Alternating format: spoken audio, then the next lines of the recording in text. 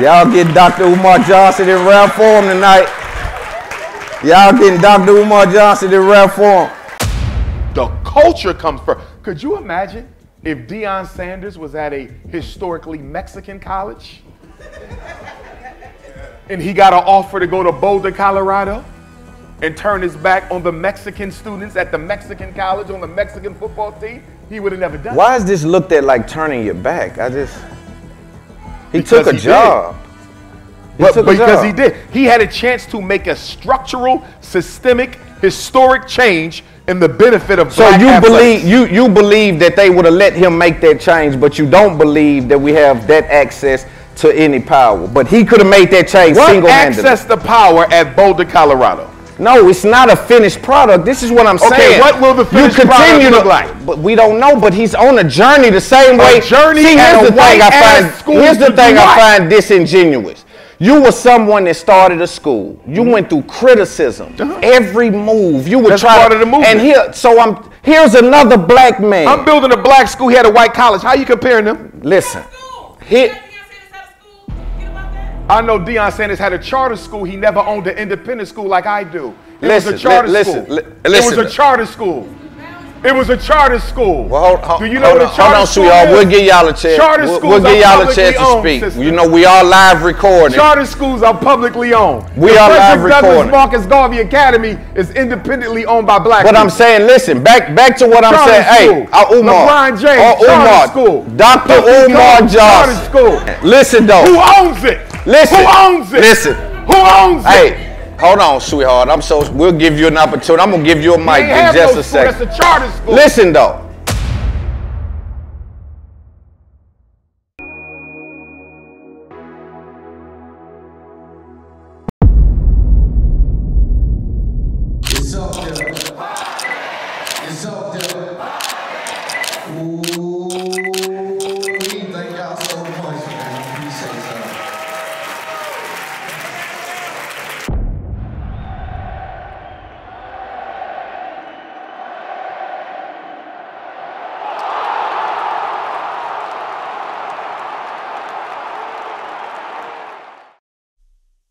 It's up there. their podcast. live show was like it was real cool. The host, he was asking a lot of like good questions for Umar to like he was giving a lot of pushback for Umar to give his more, you know, more what he had to say about the topics he had. My experience of the It's Up There live podcast show was amazing. I came because I met Loon. Next time you have a show, I definitely will be in attendance, and I was. I have my own podcast, so I'm definitely learning a lot from this man. King is giving me gems every time I see him. Um, I really enjoyed the It's Up There podcast live show. Um, I learned a lot. It's Up There live podcast show was amazing. It was a good time and always informational and uh, the perfect date night for a Friday night. I think the It's Up There Live podcast was phenomenal. Definitely a platform that I am so glad to be a part of. It was definitely enlightening and motivating and empowering. Oh, it was awesome. I am so glad. I had so many other things going on tonight, but I made it an uh, uh, uh, important. It was very important for me. And it was also important for me to bring my grandson or share with everybody I know.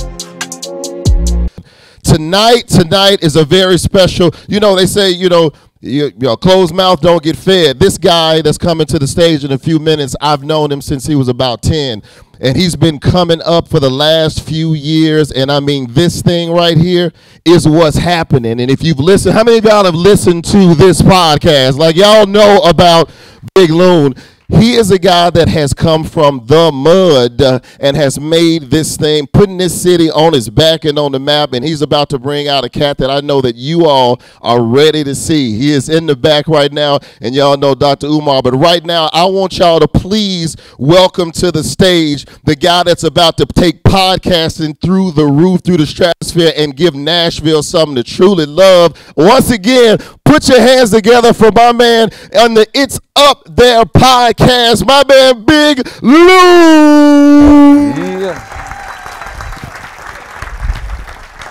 What's up, my brother? Appreciate you. Appreciate you.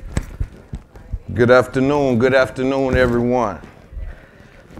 I want to thank everybody for being here today. I go by Big Loon. It's up there podcast. For those of you that don't know me, anybody that you can think of um, in the culture. So I thank y'all for coming out. This is a live taping. Uh, what we're going to do tonight is have a very, very important conversation with Dr. Umar Johnson. Any of y'all know Dr. Umar? All right. Cool, cool, cool. Without further ado, man, let's bring out Dr. Umar Johnson.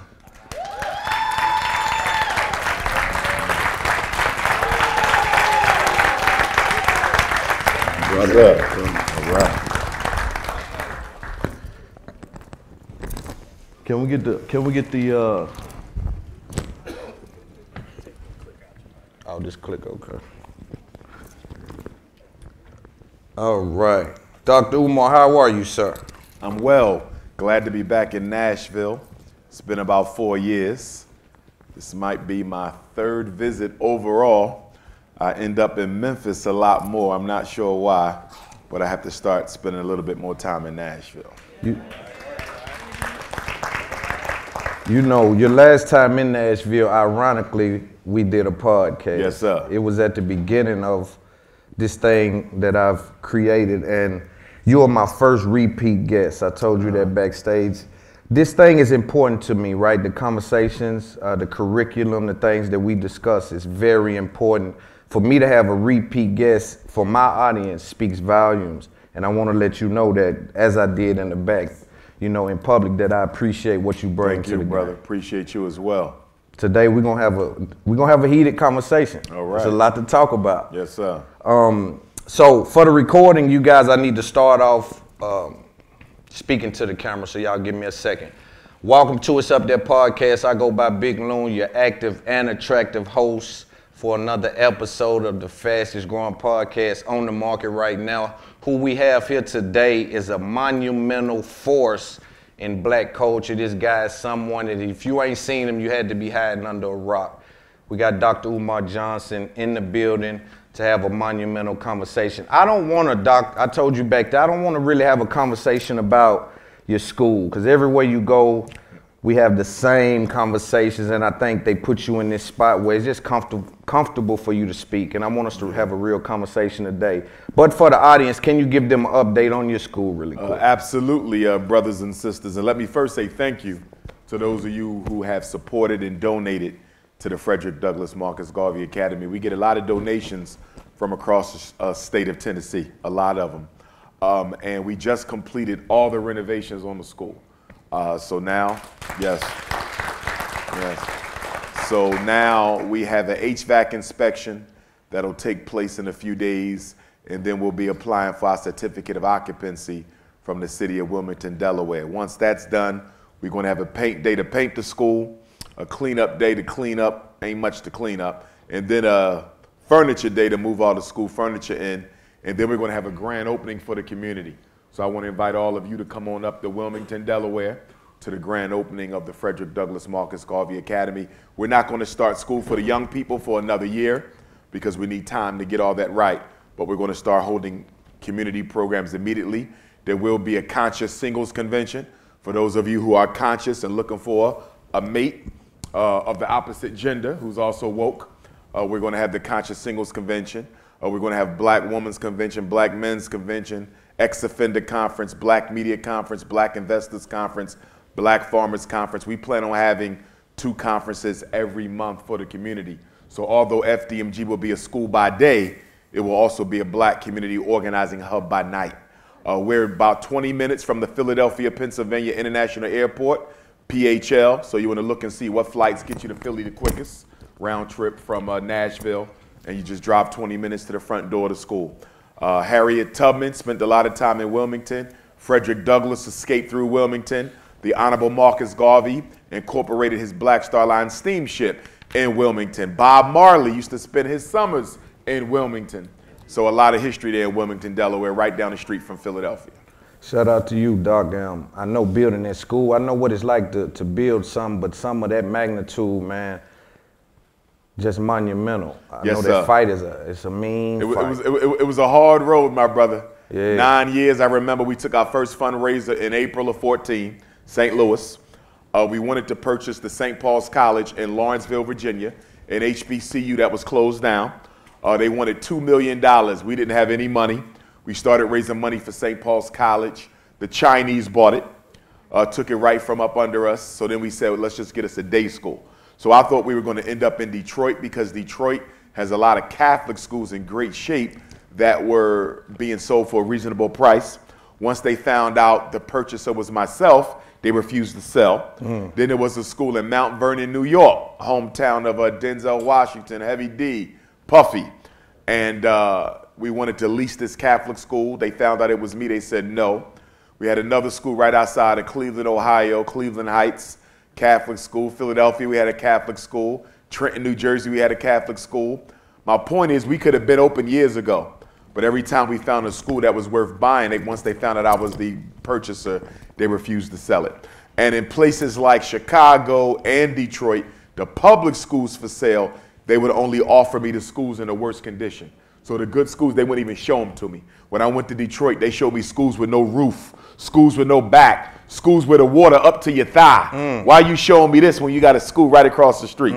So uh, it, it was made very clear to me that the white power structure wasn't going to do anything uh, to help me get this school. So one day, I'm on, uh, what is it, a loop LoopNet, and I see this school in uh, Wilmington, former charter school, was a black charter school, and I'm on my way down to the Nat Turner uh, 2017 Great North American Eclipse, if you remember that, that big eclipse. Yes, It was. August 21st of 2017. So August the 20th, I stopped by the school, I saw it, went down there and celebrated Nat Turner with the eclipse, came back, went to Cuba to get my Ifa initiation, came back, got into the school. I said, this is where we need to be. But they wanted $2 million. We didn't have it. So they wanted the same price St. Paul's wanted. We didn't have it. So I stayed after them for 18 months. I kept calling, harassing them, pestering them. And I mm-hmm. said, listen, nobody gonna buy this school but me. Sell me the school. And then one day I called them, and I don't know, it was just my lucky day. They said, we're gonna give it to you for what you got. And so Wow. February the 7th of 2019, we closed. Wow. Wow. That's dope. Yeah. So, um, how do you explain to someone who doesn't know you what you do and why you do it? Uh, I mean, formally, you know, I always start with the formal, so I tell folks, you know, Dr. Umar Ifatunde is a doctor of clinical psychology, certified school psychologist, a Pan Africanist, a former Minister of Education for Marcus Garvey's UNIA, author of two books, uh, Black Parent Advocate and uh, Psychoacademic Holocaust, founder, obviously, FDMG Academy and the National Independent Black Parent Association. But if I was to sum all that up, I would say that as a Pan Africanist, we all, as black people, as African people, have to decide how we're going to make our contribution to our people. And so for me, I've decided to do it in the area of education and mental health. And so opening up this first school, we're hoping to have so many more come after it. Because from a psychological perspective, I understand we can't change nothing about our predicament until we change the way we think. And so the thinking has to be changed in the children. Frederick Douglass, one of the mottos of our school is uh, Frederick Douglass, who I'm related to by blood. He said, quote, it's better to raise strong children than repair broken men. And so that's the motto of FDMG, get them while you're young, because being a therapist, I know most people who come to therapy will never change. They will never get helped. People show up with depression, bipolar, anxiety, low self-esteem, domestic abuse, suicidality. Most of them will never change because they're not ready to. So that's people who've been dealing with a problem for five or 10 years. You're talking about African people who've been dealing with post traumatic slavery disease for 400 years. So if people don't change after 10 years, imagine 400. Right. So we have our work cut out for us, but I definitely believe that the mind, we have to start with the mind. There's no economic revolution, there's no political revolution, there's no social revolution, there's no cultural revolution, there's no spiritual revolution without the psychological revolution. And if you study all great movements in history, everyone, Chinese Revolution, French Revolution, Russian Revolution, Cuban Revolution, American Revolution, African Revolution, Vietnam Revolution, they all started with an educational system to transform the way the children thought. So if we're going to change, we have to change with the mind. You know, we want to change our spending habits. We want to change the situations between black men and black women. You're not going to get to none of that until you change the way we fundamentally We think about we- ourselves. Right. We're going to talk about some of that stuff today, though. Yes, For sir. sure. But I want to start with Deion Sanders. Mm-hmm. You went to the Breakfast Club, and I want to roll this clip because I want you to uh, kind of further speak about what we saw here on the Breakfast Club. Let's pay attention.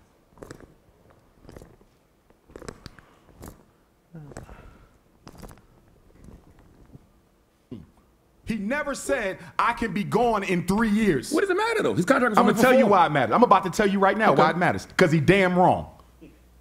Now, if he told them, if I'm gonna go back and study some more, but from what I seen him say, he was not that direct. But if he was, was. if he was, mm-hmm. and that's not what I saw, so I, we disagree there. But if he was, he's still wrong, but it's a low level because at least you was transparent and you gave him informed consent. Mm-hmm. They knew you could leave at any time. That's right. Right. Okay? Still wrong. I'm gonna explain in a minute. Now, if he didn't tell them that, okay, and I'm hearing from people who know athletes on that team that they were not told it that way. They weren't listening. And they're upset. because he said that on 60 Minutes. Okay? He didn't say it that way, Charlamagne. I Yes, saw he that. did. That's an not. exact no, quote. he didn't. Exact now, quote. if he did not do it that way, that automatically means that Deion Sanders used, abused, and exploited HBCU Jackson State just to be given an opportunity to show predominantly white institutions that he could coach. If he only used them as a stepping stone to getting a job at a white college, he was dead wrong. Sanders. Now, let me. The reason I'm so personally disappointed in Deion is I thought he was there for a movement, not for money. Meaning. Deion Sanders, the coach of Jackson State, I foresaw a situation where Deion would hire other coaches other retired black NFL greats to coach other HBCUs. In doing so, you attract our top tier high school athletes to come to Maybe. HBCU. Maybe. Stay with me. Eddie George is at Tennessee Stay with me. Stay with me. Football and back. You know, like I know, if you got top tier NFL greats coaching HBCUs, the athletes are coming just like they was coming for Deion. He showed you, Charlamagne. Deion, though. He showed Dr. you. Umar. And his other was Deion's just as one of the most famous people ever. And his other was just as great. So listen. Eddie George at Tennessee State. That's one person. We talking about a system, not an individual. So, depending on white money, you got HBCUs at risk of being closed. I read something that said almost a half of them, a half may not survive the decade. So this was bigger than football. This was about the survival of the HBCU, It's bigger than Deion, though, especially Dr. Umar. no, Yes, no, is. I think- no. So I wanted to play that, um, and I want you to build on that some. For those of you unaware with that clip, and just to give some context and some groundwork around it, that clip was in reference to Dr. Umar's opinion about Deion Sanders leaving Jackson State and headed up to Colorado to coach that team. You mind building on that? I want us to have that conversation. Uh, sure. Uh, first, I want to say that I have tremendous respect for Deion Sanders and what he's done. Uh, for a long time, he was my one of my favorite NFL players. Uh, I have nothing negative to say about him as a human being or as a man. We're speaking about his obligation to the black community and what he was in position to do to help secure the legacy of HBCUs. Now, the other day, Deion Sanders. Hold on, before you go. Sure. Because I know you got a lot. Uh, You believe Deion can, can can secure the future of HBCU? I believe he had a strong chance of being able to lay the foundation for doing so, yes. So laying the foundation and securing is different. We can Uh, not necessarily, because we have to see it in motion. But the point is, Deion Sanders was bringing top recruits to Jackson State. Right. I saw Deion Sanders as being the catalyst of a movement where ex NFL greats and NBA greats would occupy the coaching ranks at the premier HBCU campuses, pulling all of our talent that is exploited by the PWI back to the HBCU. College athletics is a multi billion dollar business. We have at least 40% of HBCUs right now in danger of being closed down. We tried to buy one. There's a few more that just closed down in the past year. If you lose the HBCU, you lose middle class black America. The HBCU is responsible for more than 50% of our attorneys, 50% of our engineers, 50% of our teachers, 50% of our doctors, if I didn't say that already. So the HBCU has single handedly kept a professional class in black America. You just had a situation, as I mentioned to Charlamagne, where the Supreme Court just threw out affirmative action in college admission, which means white colleges no longer have to pursue the black student anymore. That just made HBCUs more critical. If they don't survive, the black middle class and or professional class doesn't survive. When Deion showed up at Jackson State, and I've spoke to players after that interview, players who told me Deion did not tell us he could leave. Not that quickly. Multiple players. So, so, but at what point do we? But let me finish that point. Go ahead. So therefore, you come to this HBCU, you see the change that you're able to generate. Why not systematize this so the HBCU can now compete with the Alabamas and the Florida States for that football revenue, that basketball revenue, those top recruits. And now the HBCU doesn't have to worry about handouts and contributions from alumni and celebrity blacks because you're now bringing in enough revenue on an annual basis from your athletic programs the same way Duke and Carolina do to sustain the university. Deion Sanders could have went down in history as one of the greatest black men in American history. You don't think so? Had he say that again? You don't think he's still going down in history? As an athlete, but that's irrelevant to me. I don't care about athletes. I care about black success. As a coach, you don't think he's going down? As what As coach? a coach. He may. I don't know what the future holds, but that's not important to me. So what is he? What would he? Oh, because oh, you're saying- you're athletics, saying, okay. athletics does not in any way, shape, form, or fashion compare to black survival and success. I don't care how many trophies you got, how many rings you got. That does not compare to where we end up as as a people. Is is sports athletics a portal or a, a portal to power though? How is it a portal to power when less than 50% of black Division One male athletes graduate within four to five years, and at least 40% of them never graduate at all? They exploit them for four years, and they back in the hood selling crack and weed. How is that a portal to power? Yeah, I understand that, but at the same time, I feel as though someone like Deion Sanders can come through that and continue to elevate. I don't So Deion Sanders bragging the other day that gained the home opener for the University of Colorado, Boulder, Colorado, with a black percentage of 1.3%. Cracker land. 1.3% black people in Boulder. Y'all know King Kong was coming. 1.3% black people in Boulder, Colorado. 2.6% black students at the University of Colorado. Deion bragging that the home opener made $18 million. What did that do for us? I heard. I, I mean, I understand that, but I think it's. I think he's thinking about his journey. The same. His! Way, hold on. The same way you're thinking about your journey. No! My life is for the people. Everything I do is for the people. All right. I, I understand, and, and you, you know we're gonna have some clapping and all of that. You're gonna have it. It's funny to me. Because I'm the realest man in black America. listen, listen. What, what we're gonna talk about is the truth, though, because we're dealing with the truth. We have to live in reality. We're not. The claps don't make us right or wrong, right? what we have to focus on is the truth. You're telling me, you're telling me that your life. So if if that was the truth, if your life was all for the people, you'll live at that school. You wouldn't have a home. I probably won't go home once the school opens. Before it opens, you would take the money from your home and put it in the school. I have. All of it. Just about. See, that's what I'm saying. So Just there's about. but there's room to think about yourself. Yes, but yourself does not take precedence over the people. My life is for the people. It is not about personal achievement. So you don't nothing bel- wrong with that. Here's what I'm saying.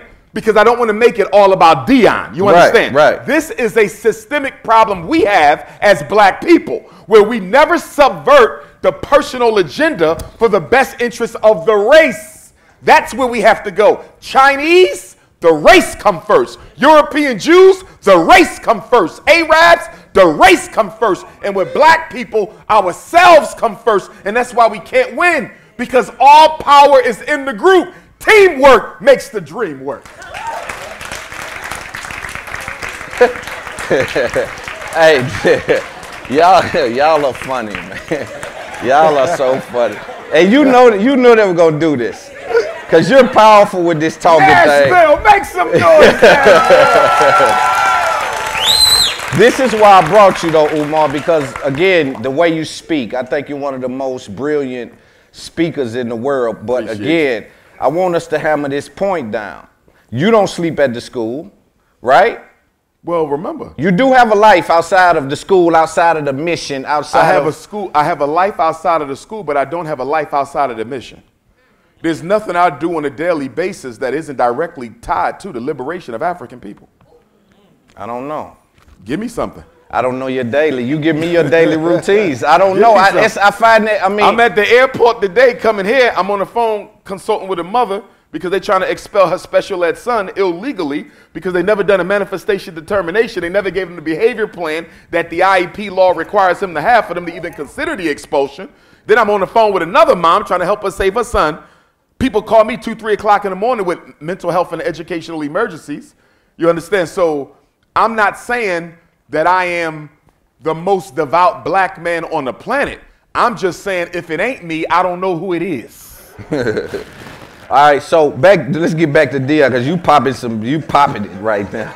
Let's get back to Deion. So, so in all actuality with Deion, I feel as though when I look at even people like business doesn't have moral clause in it, right? So no, European business doesn't have. and that's what the that's what the colleges are, right? Ain't that the European structure? Okay. All right, so we're speaking about the again situational awareness. You cannot ignore the facts. Deion is inside of a structure and a system that he has to play a certain game the same way you do. So Deion had to lead Jackson to go to all white Colorado because he's in the system? Yeah. No, Deion. I believe Deion to be chasing a dream. I believe Deion to be chasing a position for him, his family, and then the mission. I believe the mission is still in the car with Deion. Sometimes when I hear you talk is the about the mission for him is saving kids. at an all white school, who he saving black up there?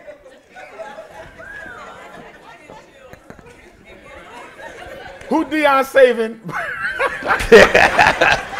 they go, they go. Who You, Deion saving at the University of Colorado? he's saving children though. Look, His son, there they go. whose son? His. Did you save your daughter? Of course. All right, But so that, I don't like. Hold on. Not at the Uh, once- expense. You keep Not on. What I think, listen, it comes off disingenuous for me when you try to act like I'm gonna put y'all in front of me and mine. I got to save me and mine.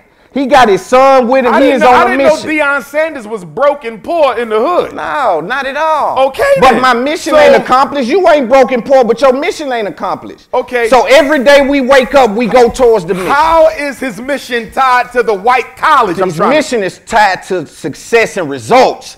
You're looking For at who? it for him and his family, his For him son. and his family. What about So, the community? Again, that's still on the agenda, but it Where just, at an all-white school? Where is the community on the agenda? Where is the black community on the agenda at Boulder, Colorado? So what I did, if I'm Deion Sanders, I come into Jackson State and lay a blueprint. I break a mold. I do something that's never been done. But for you And to that ask me, was?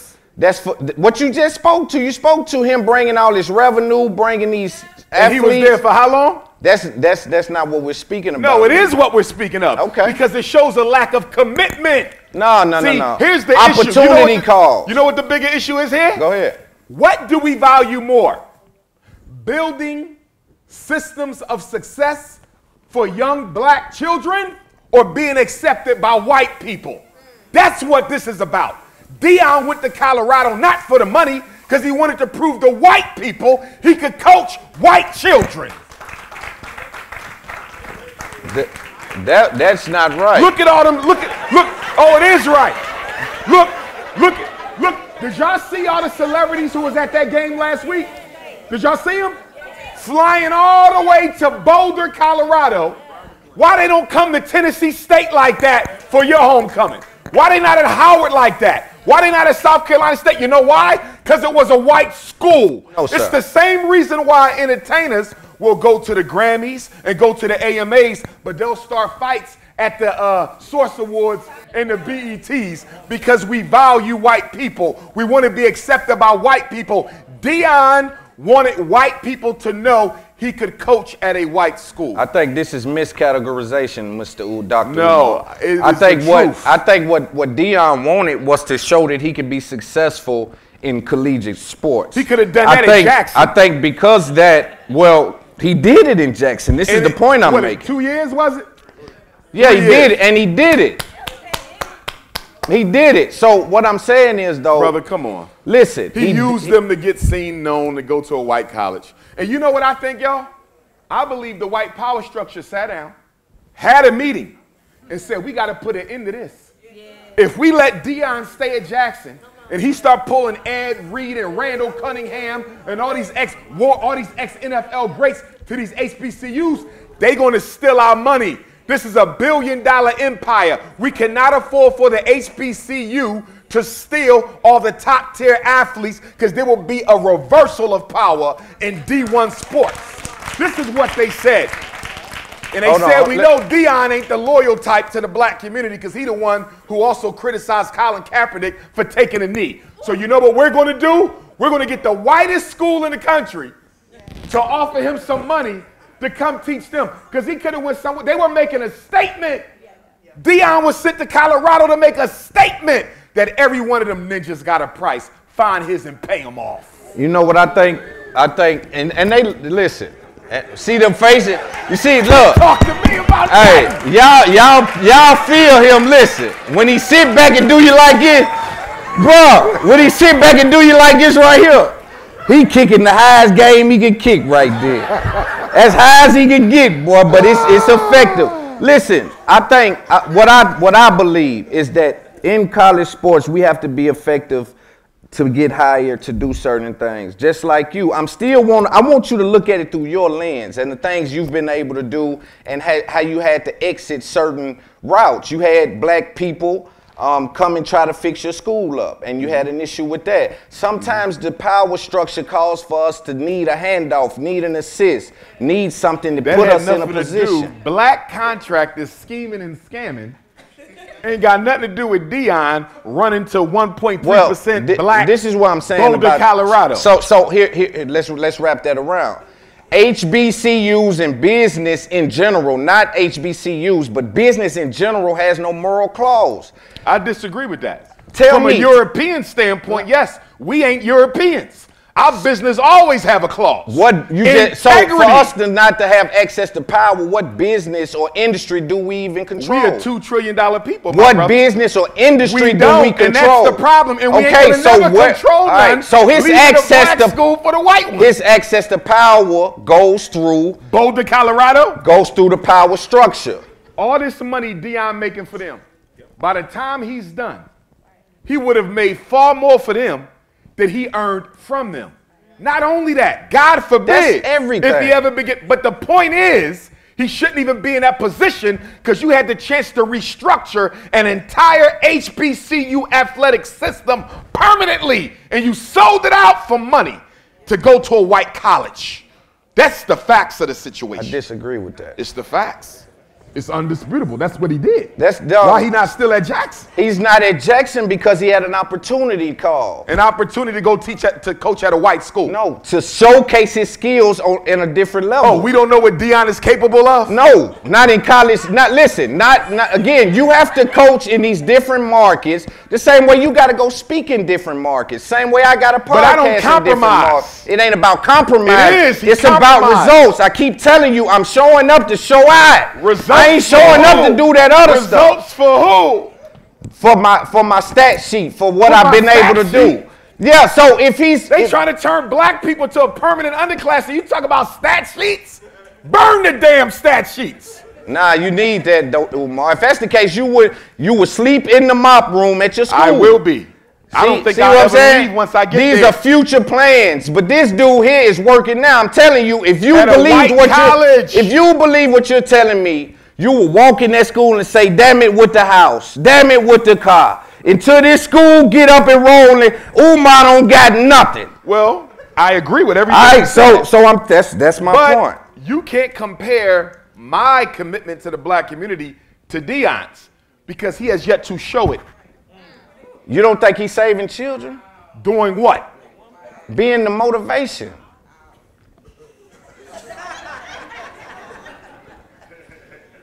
Continue. I rest my case.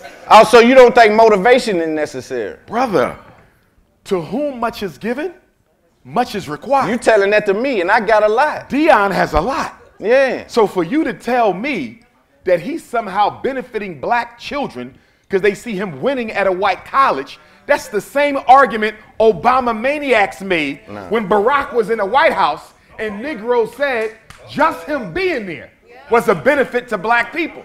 Only problem with that, it didn't play out in the statistics. High school graduation didn't go up, crime didn't go down. You understand? We didn't do better on a single index in this country as a result of Obama being in the White House. So now you're giving me Deion on a white football field, Barack Obama in the white man's house. Listen, They're clapping for nothing. They're clapping for nothing. no, they clapping for the truth. They're clapping for nothing. It's, and it's, it's hard. It's hard because you're not even getting through it and they're clapping. So I know they're clapping for No, no, nothing. no. They Li- hear me, but but more than hearing me, they feel me. Yeah, they feel you. I feel you. I, I believe you to I believe you to be the truth, like I always say. Yes, sir. But I'm telling you that I believe you not to believe what you're saying. I don't believe that you truly believe that someone should put everything they have into the mission. I don't I don't Why see not? you That's doing the that. only way we win. I don't see you doing it though. You don't see me doing it. No. Okay.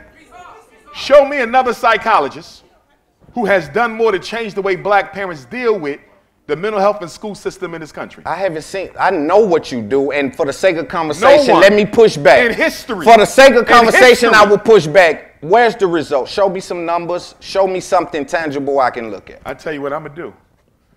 I'm gonna have every parent I've ever saved and child I help email you directly.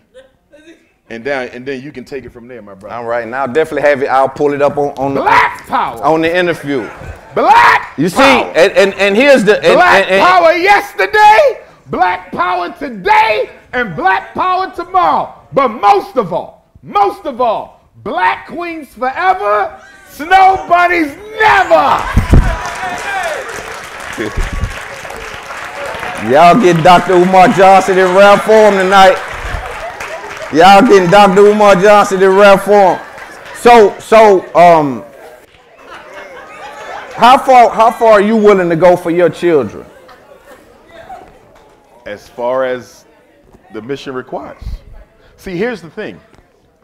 We have different value systems, right? And the problem with black people is we operate on a platform of selfishness and individual agenda. Every other group, the culture comes first. The culture comes first. Could you imagine if Deion Sanders was at a historically Mexican college and he got an offer to go to Boulder, Colorado and turn his back on the Mexican students at the Mexican college on the Mexican football team? He would have never done it. Why is this looked at like turning your back? I just, he Because took a he job. He But because job. he did, he had a chance to make a structural, systemic, historic change in the benefit of So black you athletics. believe you you believe that they would have let him make that change, but you don't believe that we have that access to any power. But he could have made that change what single-handedly. access to power at Boulder, Colorado?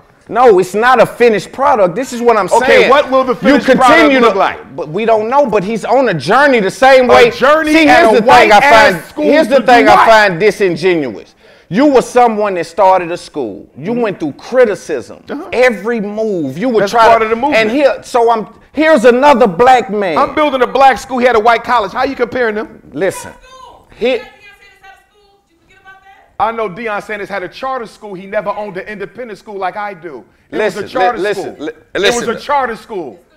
It was a charter school. Well, hold, hold, do you know hold what on, a charter hold on, school is? We'll give y'all a chance. Charter we'll, schools we'll give y'all a chance to speak. sister. You know, we are live recording. Charter schools are publicly owned. We the are Frederick live Douglass recording. Marcus Garvey Academy is independently owned by black But people. I'm saying, listen, back back to what I'm Charter saying. Hey, school. uh, Umar. LeBron James, Oh, charter school. Dr. Puffy Umar Combs, charter school.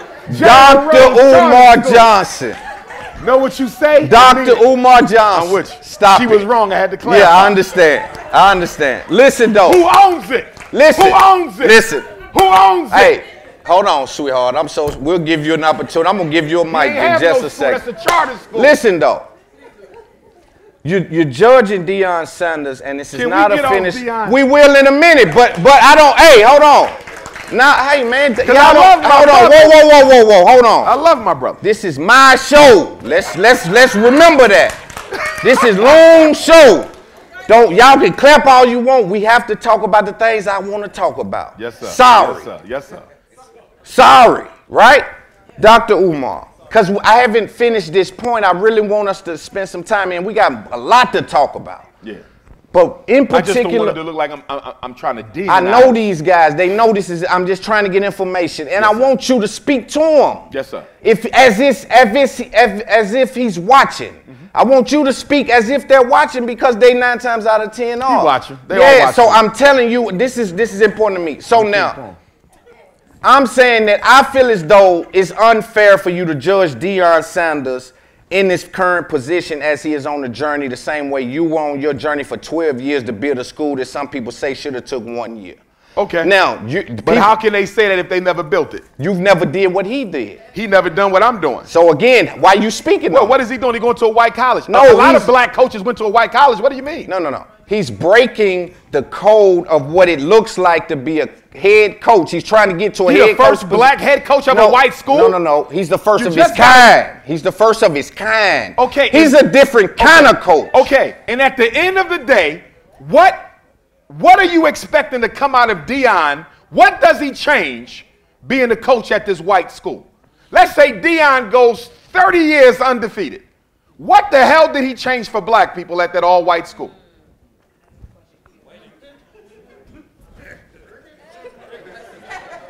I mean, that's a loaded question. You can change a No, lot it ain't loaded. Yeah, see, you can't tell me what a loaded question is. These are tactics, and I know you're a great speaker. Stop the tactics. You know, the, the this, the did. These are tactics. We, no tactics. yeah, these are tactics. So we want to just have a. Now listen, I believe him. Let's just move off Deion because I Yes, feel as though. please. Hey, look, I feel as though you, you clap too much. We going back.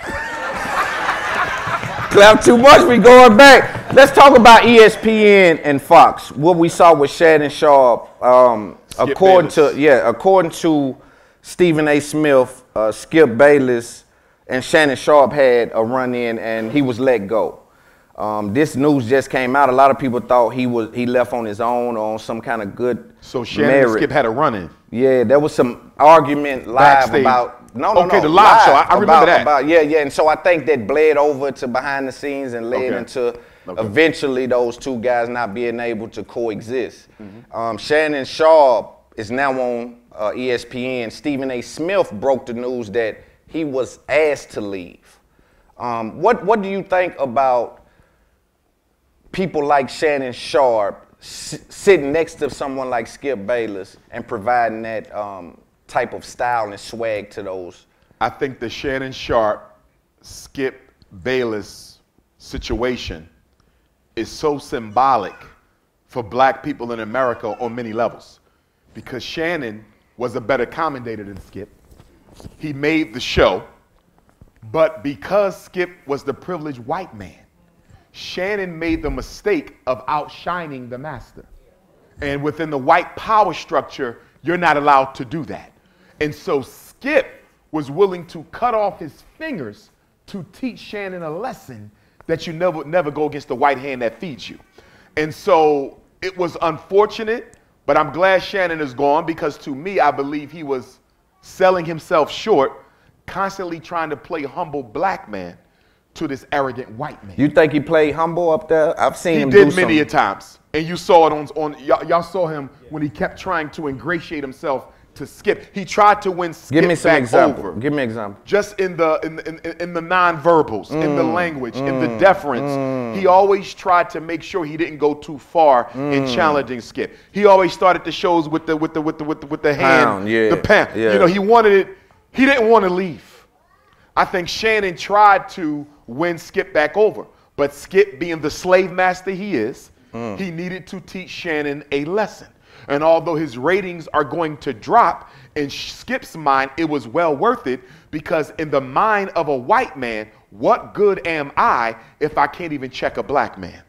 So that was all about race and it was about power. And I think Shannon may have not fully understood the rules of racism. And the first rule of racism is all white people are racist. And the second rule of racism, white people don't share power with black people. So the minute Shannon wanted an equitable power sharing in the conversation on Undisputed, he had to go. Skip had to let him know we are not partners. I'm the slave, you're the slave, and I'm the slave master. Mm. Shannon tried to break the code, change the power dynamic. White people don't do well with you changing power dynamics because at the end of the day, all they have is their white privilege over and above you. But with that being said, and I love my brother Shannon Sharpe, I think he got a good heart. But until he stopped running around with them damn snow bunnies, I'll never be able to give him the total respect that he deserves. I think he's a good brother, but he got to he got to heal whatever went on with him and his children's mother, ex-wife, whatever. But for him to be as dark as he is and to only be running around with white women, it's a disgrace to the race. So love isn't love isn't love to Dr. Umar Johnson. If love is love, why don't we see rich white women marrying broke ass black men? If love is love. Does that speak to what what are you saying with that? I'm saying what white woman married to a black man has ever done anything significant to help black people? Kobe Bryant's widow, Vanessa, who inherited over a billion dollars worth of his wealth, she just did a HBC, excuse me, a college partnership in Kobe's name. And all five colleges she chose to be part of this Kobe Bryant thing were white. She didn't choose a single black college for this black man's money who didn't attend a college at all. Isn't college the European power structure? Why, so do we participate with it or not? Like at some points we hear, yo, get outside the power structure, create your own. Then other is the moments we hear, That the yo, you should have stayed at that HBCU Yes, in the shoulda. white power structure Yes, you because you, shoulda. still could have utilized it. But if you go to this other school, you're in the white power structure and you can do nothing. I'm like, I'm confused as to why You the shouldn't power. be confused Okay, because he help can't clarify. do anything in Boulder, Colorado. At Jackson State, he could have did a lot. What we're talking about is Kobe Bryant's widow taking his black man's money and not using any of it to support HBCUs. I know black people ain't supporting nothing with their money. Okay, so do I. But that wasn't the point. So it ain't We about the skin about- color, it's about the No, it is about skin color. It's always about race. It's black Everything in America no. is about race. It's black people that don't help black people. And I ain't been helped why? by. Because they've been taught not to help black Okay, people. so if that's and the- who taught them not to help still black situational who awareness. conditioned them not to help Still black the same who situation. trained them not to help black there's a history to self-hatred i'm not exempting black people but any problem we got if you don't start with a plantation analysis you off base Yeah, but at the end of the day, I'm, I'm telling you that it's not just being black that makes you contribute to the cause. And I think you're framing you it like black and conscious black so, and so all right, so you got black people with money that don't check the conscious box that do nothing for the black community. That's true. So if we can't just say if you're black and in a position that you're gonna do something. But you can't scapegoat psychologically dysfunctional Negroes from the fact that they exist in a white racist power structure. The power structure is still the power structure, whether you commit it or not. That's and the only way we're going to get black people to be focused on building their own institutions and systems is to build our own institutions and systems. That's what Deion could have helped us do at Jackson State. No, because but he col- chose uh, Snow Bunny Boulder, Colorado. No. See, and this is where this is where I just think you just tripped yourself up. Because you're still telling Deion to participate in an HBCU system. Yes, I am. Okay, so there, there we are. You still in the, so how can you do something if the system is the system no matter where you go? A black system is a black system. A white So system now you're saying college, is a if white it's a system. HBCU, is a black system. The HBCUs grew out of a legacy of enslavement. You understand? Yeah, me? but that- you know They were built to give black people the opportunity to learn how to make it in this world. They are discriminated against, they are ignored, and they are being marked for extermination. Deion Sanders was at an HBCU at a time where they really could have used him to stay put and create a system that would have revolutionized the financial system of Division One sports. That's all I'm saying. What do you And think about cho- chose money? What do you think about female rap? What do I think about female rap? Be more specific. This, I the think all gangster rap is hell. So we're not, we'll get to gangster rap. I want to focus on female. Well, they rap. gangster raps too, ain't they?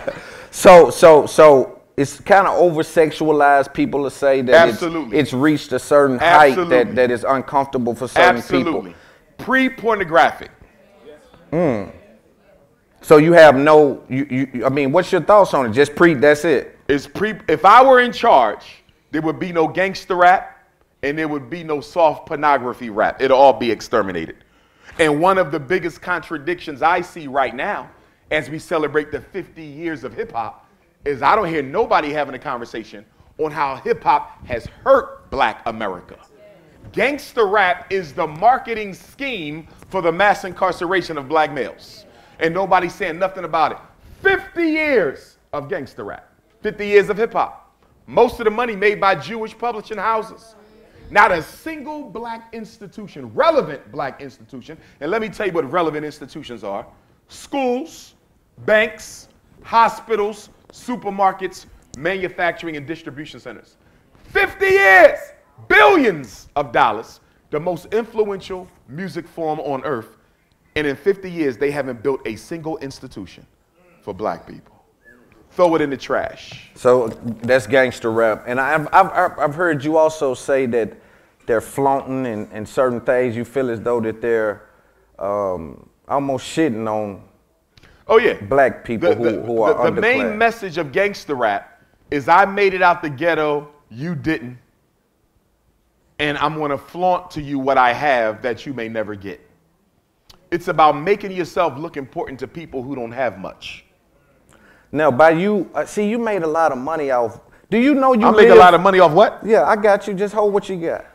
Do you know that? Do, do you know that? Do you know that you've made a lot of money in like a the motivational space? Do you know people view you as like like some sort? They they pull motivation from you. Do you not recognize? Of course, that? I'm the greatest black speaker on the planet right now. And Okay, so when, when you say that, when you say that, and let's let's hold off on some of that, Dr. Umar. We'll have to. No, just. But but seriously, um, people look But at I don't you- make much money from that. I make no, my money from you get your brand visibility though from that. See, that's that's value that goes in different buckets, especially when you're building my a brand. credentials pay the bills, not the work for the No, people. no, bro, you can't tell me that, Umar. Don't do No, that that's a me. fact. That no, is it's not. No, fact. no, it's not a fact. That Because there's a- a lot of school tell me why I'm- psychologists. Because it's a lot of school psychologists. It's a lot of people with your your Uh-huh. um, attributes that don't make the kind of money you make. And if they did pay the bills, then you wouldn't take bookings the way you do. No, no. Okay. I'm not going to break down my bookings. Right. I'm just going to say that a lot of what I do in the community is done at zero cost. I don't charge a penny to go into the prisons. I don't charge a penny to go into the halfway houses. I don't charge Last a penny time you to been to a prison or halfway house? about a month ago, last month. I don't charge a penny to go to Africa. To How do you know what to charge for, and what not to charge for? Well, because I'm a doctor, I can charge for everything that I do. But I'm saying I don't charge for anything when I leave the country. No. Yeah. How and I do don't you- charge for anything when I work with vulnerable populations. So if one of them call me up right now and say, Dr. Umar, I work at the youth prison. Can you come down here to Nashville and speak to my boy? Sure, just cover the plane ticket. I'm not going to charge you a penny. I've never charged for those things. Right. So how do you know what In to charge for years. and what not to charge for? If, if- do you charge for like because okay, I don't charge for vulnerable populations. So if you are helping people help themselves, I'm not going to exploit that. I'm coming for free. Just get me there. That's it. Okay. Again, I, I want you to know that And I didn't even charge for my speaking for the first 10 years. You know when I started to charge for my speaking? When it started taking me away from my psychological services.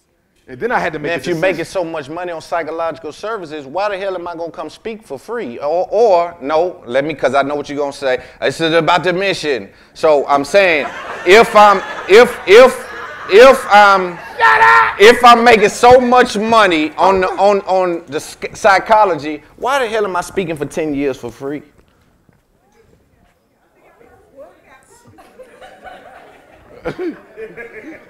You tr- you, you got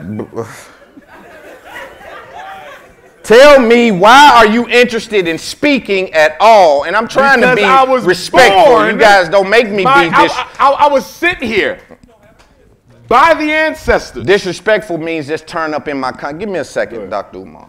Disrespectful means turn up in my content. This is a show that I'm having, so we're this. Yeah, we're, we brothers, Yeah, we we real tight. So this is right. So disrespectful means turn up in my show, and I shouldn't have stopped, but I want to address that. Continue. I'm sorry. I believe that I was sent here. Part of my mission is to raise the consciousness, and the voice is the greatest weapon to do that. I was never taught how to speak. In fourth grade black history class, there was an oratorical contest in North Philly. I'm from Bill Cosby's neighborhood.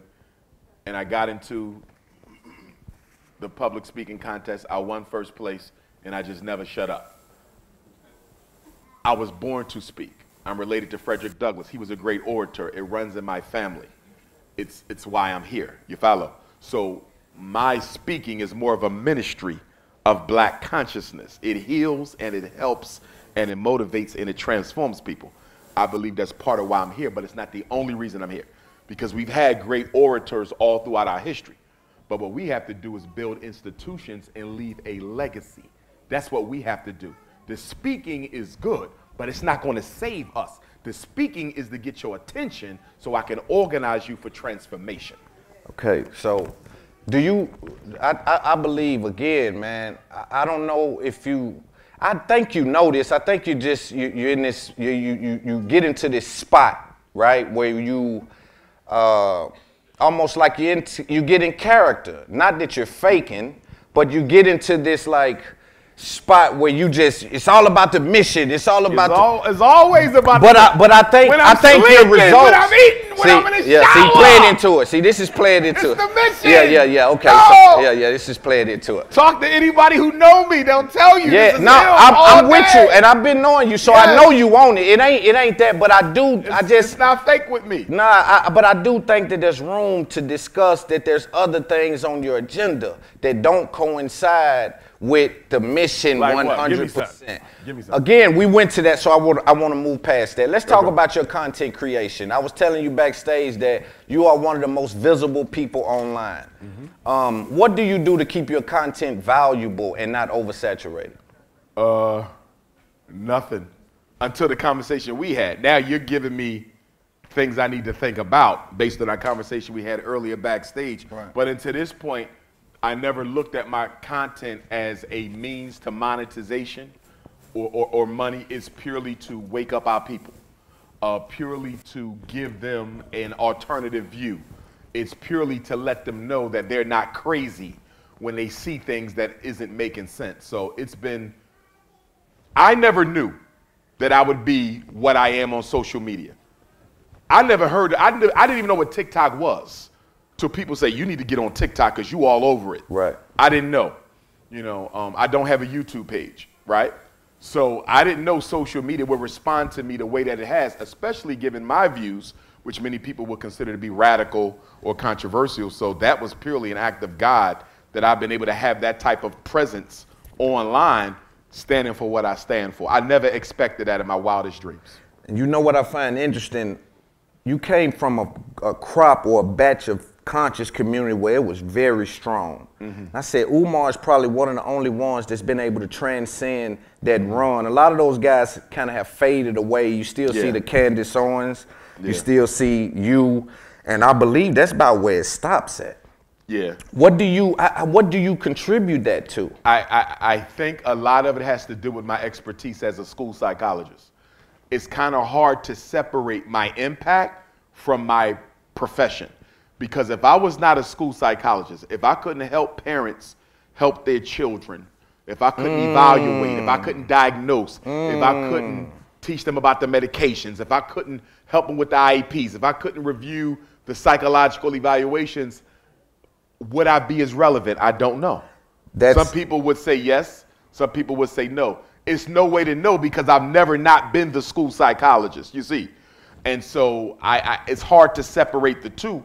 Although I think presently, though, I, I definitely think Dr. Umar the Pan African is, is a much more popular person than Dr. Umar the psychologist. But I think Dr. Umar the psychologist is more valuable in that parents clearly see in me someone who can help them. And you know what I think it is, and this is old fashioned for anybody in content creating. It's like literally add value, whatever you're doing. And so I think with the what you really have in the background in understanding the medicines and understanding psychology, I think that value did set you apart because a lot Yeah. of people was just talking. Yes. When you get With in the no meat and yeah, Yes. you get in the meat and potatoes, and you really understood. I remember you used to walk around with the big DS, Yeah, um, DSM-5, DSM-5 book, and so these kind of things I think made you kind of reign supreme in Yeah. regards to those those Yeah. guys delayed there. It seemed like the talking just subsided. Yes. It just kind of went Yes. away. Yes. Um, have you? I mean, the documentary era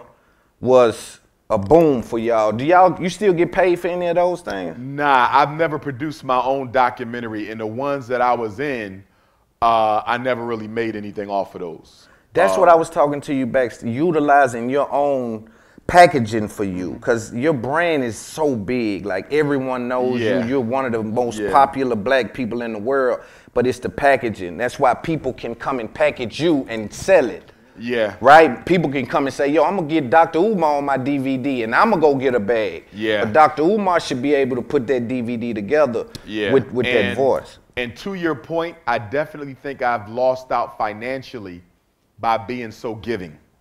But at the same time, I would not do anything different because I don't think we get that school built if people didn't know my heart was real. Uh, I don't think I would be as popular as I am globally if people didn't know my heart was real. So I don't regret any of it.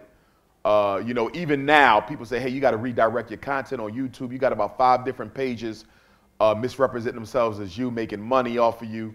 And we'll, we will get to that, but at the same time, that's how people came to know who I was by people posting the content. So So you gotta lose a little bit to get a little you got to bit. lose, yes, yes. You Just like. Deion. Yes. That ain't got nothing to do. Don't, Let me do what he be doing. I don't.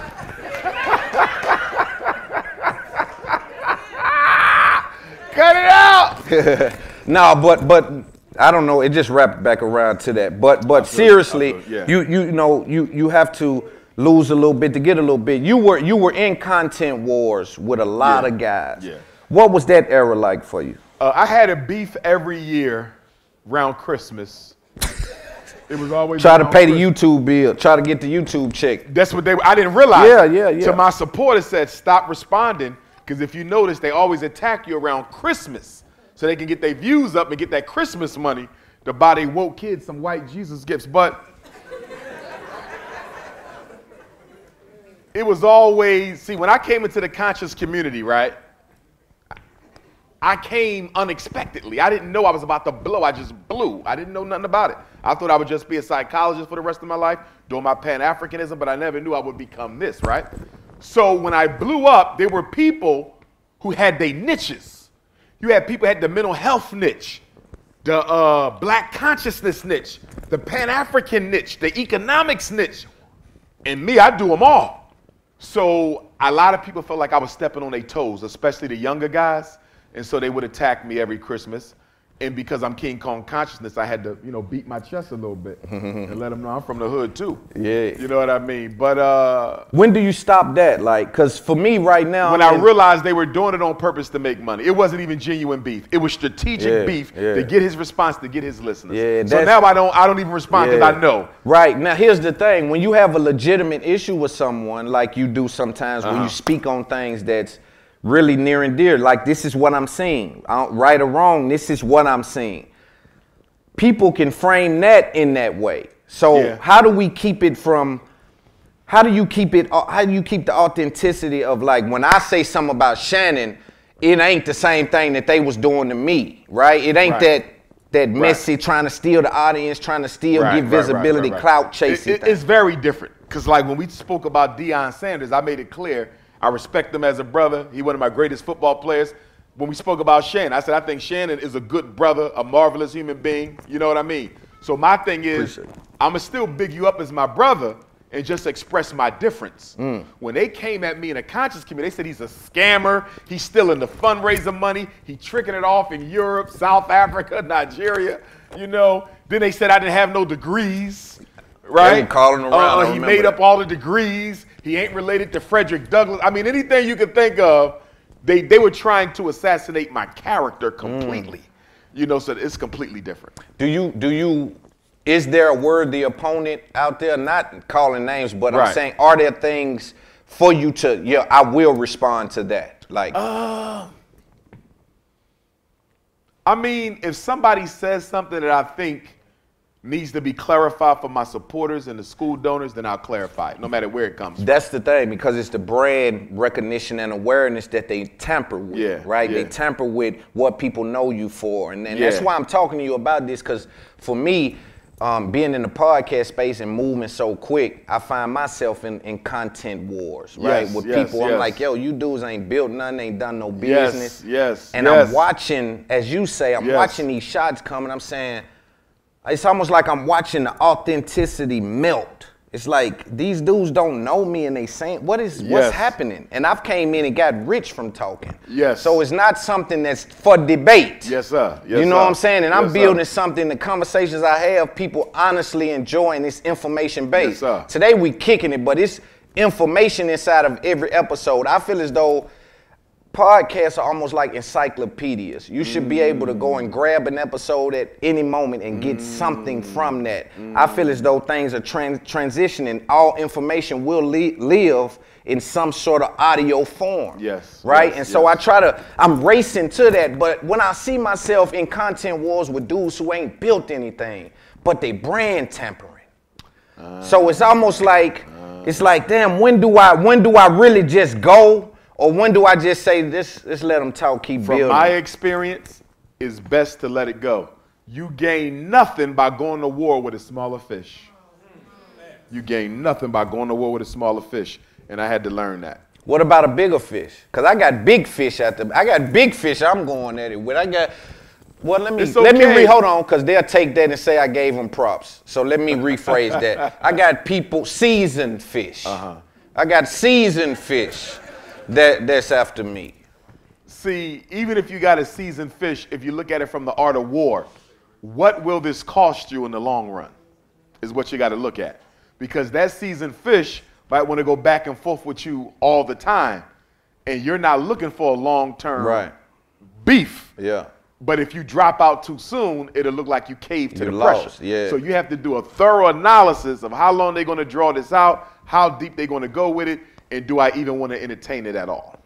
I used to look at your lives and say, I wonder is he, I thought you was conscious. But see, at the more I talk to you, I know that you don't know the money that's floating I around don't. out there. I don't. When I'm sitting back there talking to you like, yo, dude, you, you, you know, it's, you got six, seven pages, they doing a million a day. Like this is thousands of dollars on People a daily stop me in the airport all the time and say, you leaving too much money on the Yeah, table. and so and so when I look at you, at first I thought I said, "Yo, these lives are like loss leaders for him." Almost like at Costco's, they they they keep the hot dog 150, Uh-huh. even though they losing on the hot dog. It's like I know when you come here, you're gonna get enough to want to see what's behind Right, the curtain or in right. the rest of the store. And so at first I thought you were using those more like marketing, but when I Ah, talk to you, like and it's, yeah, yeah, like teasers, like yo, this a little bit, come get it. Nah, I never, I, never, I never did it for the money. Man. Like even now when I go live, I, I gotta feel it. My lives ain't even scheduled. Just like, you know what? Erica Mena caught our sister a blue monkey. Oh, hell no. I was in Brussels, Belgium. I had to go live on that because that touched me. You know, to call What your sister- thought about that? Let's talk about that. Uh, it speaks to the light skin supremacy complex that we still have in the black community. And by light skin supremacy, I don't mean light skinned people, because you could be a dark skinned, light skinned supremacist. Just a little more, right? A- absolutely. Yes, yes. I know Follow. dark skinned purple blacks who don't want nobody around them except yellow people. You see that? So you could be a light skinned supremacist and not be light skinned. So it's not about light skinned people. That has nothing to do with it. It's a consciousness, you see. And I thought it was wrong. It was bad. I'm glad they fired her for it. She apologized, but the apology to me seemed a little bit disingenuous and almost like a, a smack itself. It was kind of, it was kind of uh, I didn't like the apology. I, I don't think it was humble at all. But that's the issue we got colorism. I think black women have it worse than black men within the queendom. So we as black men, we don't really look at each other's complexion when we hanging out. You feel me? We don't care, Right, brother, brother. right. But with the sisters, I've noticed, Mm. sisters will look at the complexion of the women in their circle. You see? And, and, and- the women in the circle who may not be the complexion they want can feel that get away from us energy.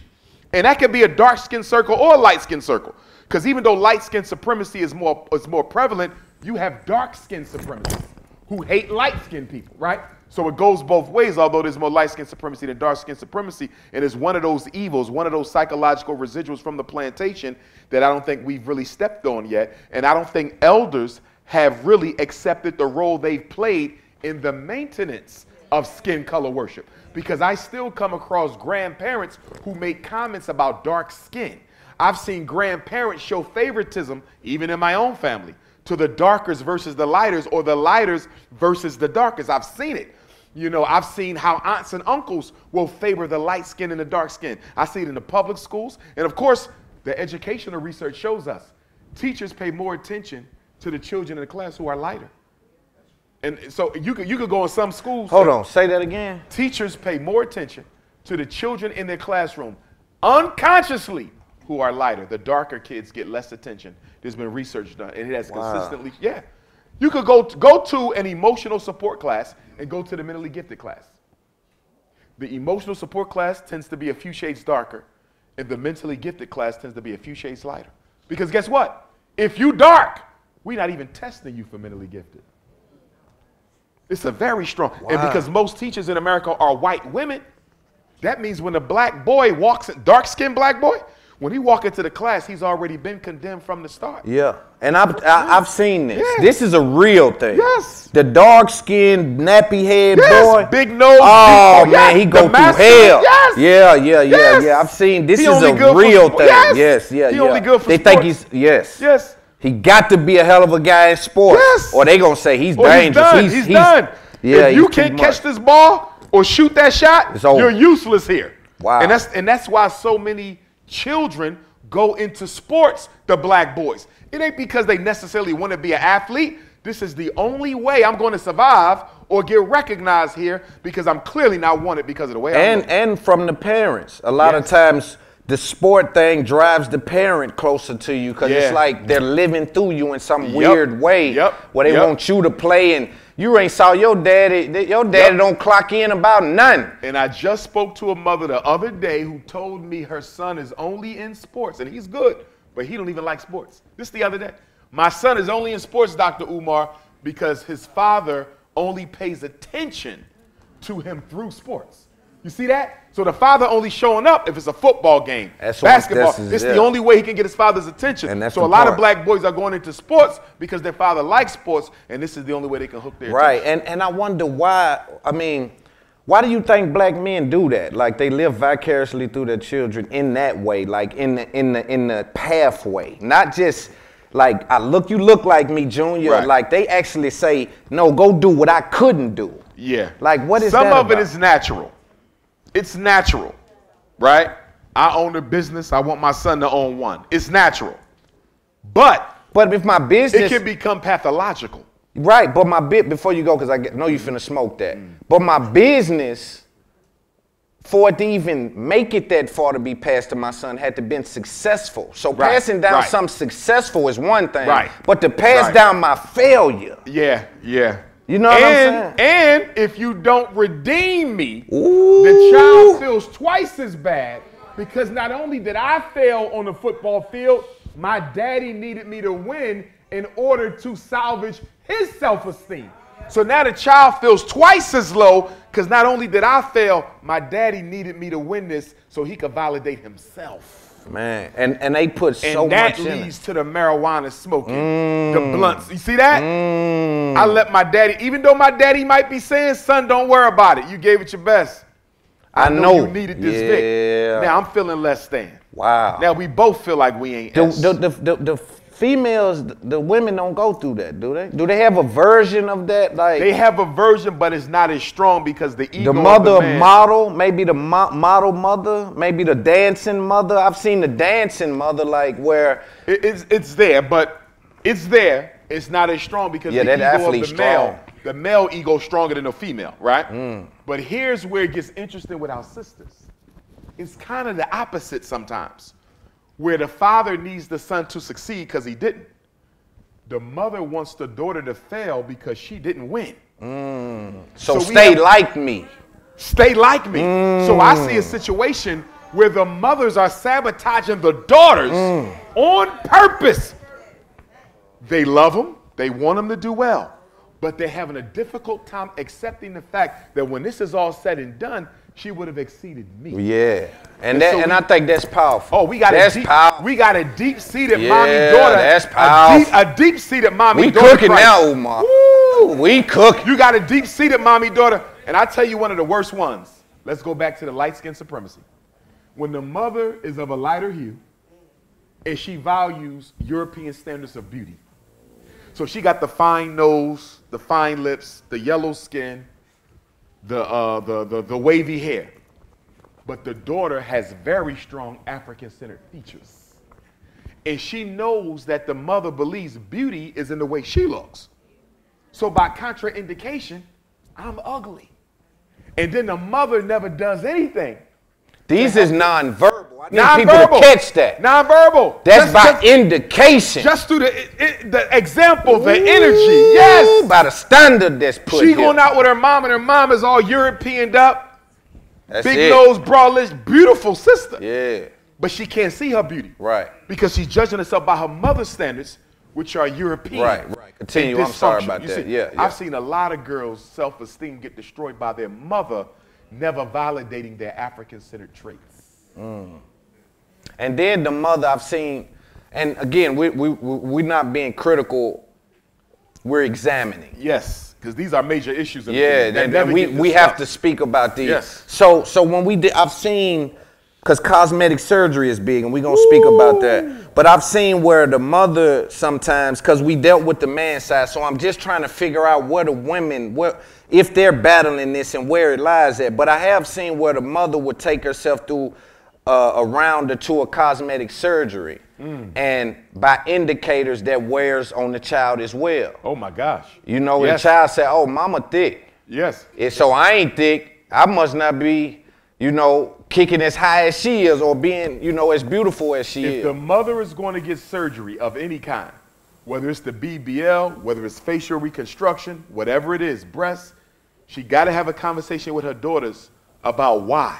Because if she don't, the daughters are automatically going to assume. Get in line. Get in line. You were not comfortable with yourself. I'm your daughter. I looked exactly how you looked before you underwent Because you don't even look like me no more. You when you go like get me. all that work and come back home, man, we used to look just alike. Which means what? It is a rejection. It is a rejection of your phenotype. And in rejecting your phenotype, you reject your children. Mm. Oh, is that Now, I, I do want to be clear to you though. I, I could appreciate the BBL now. I can't. And I'm gonna tell you why. It don't bounce. Nah, you talking about the cheap one. See, it's you talking about the cheap BBL, Dr. Umar. And how you know it don't bounce, first of all?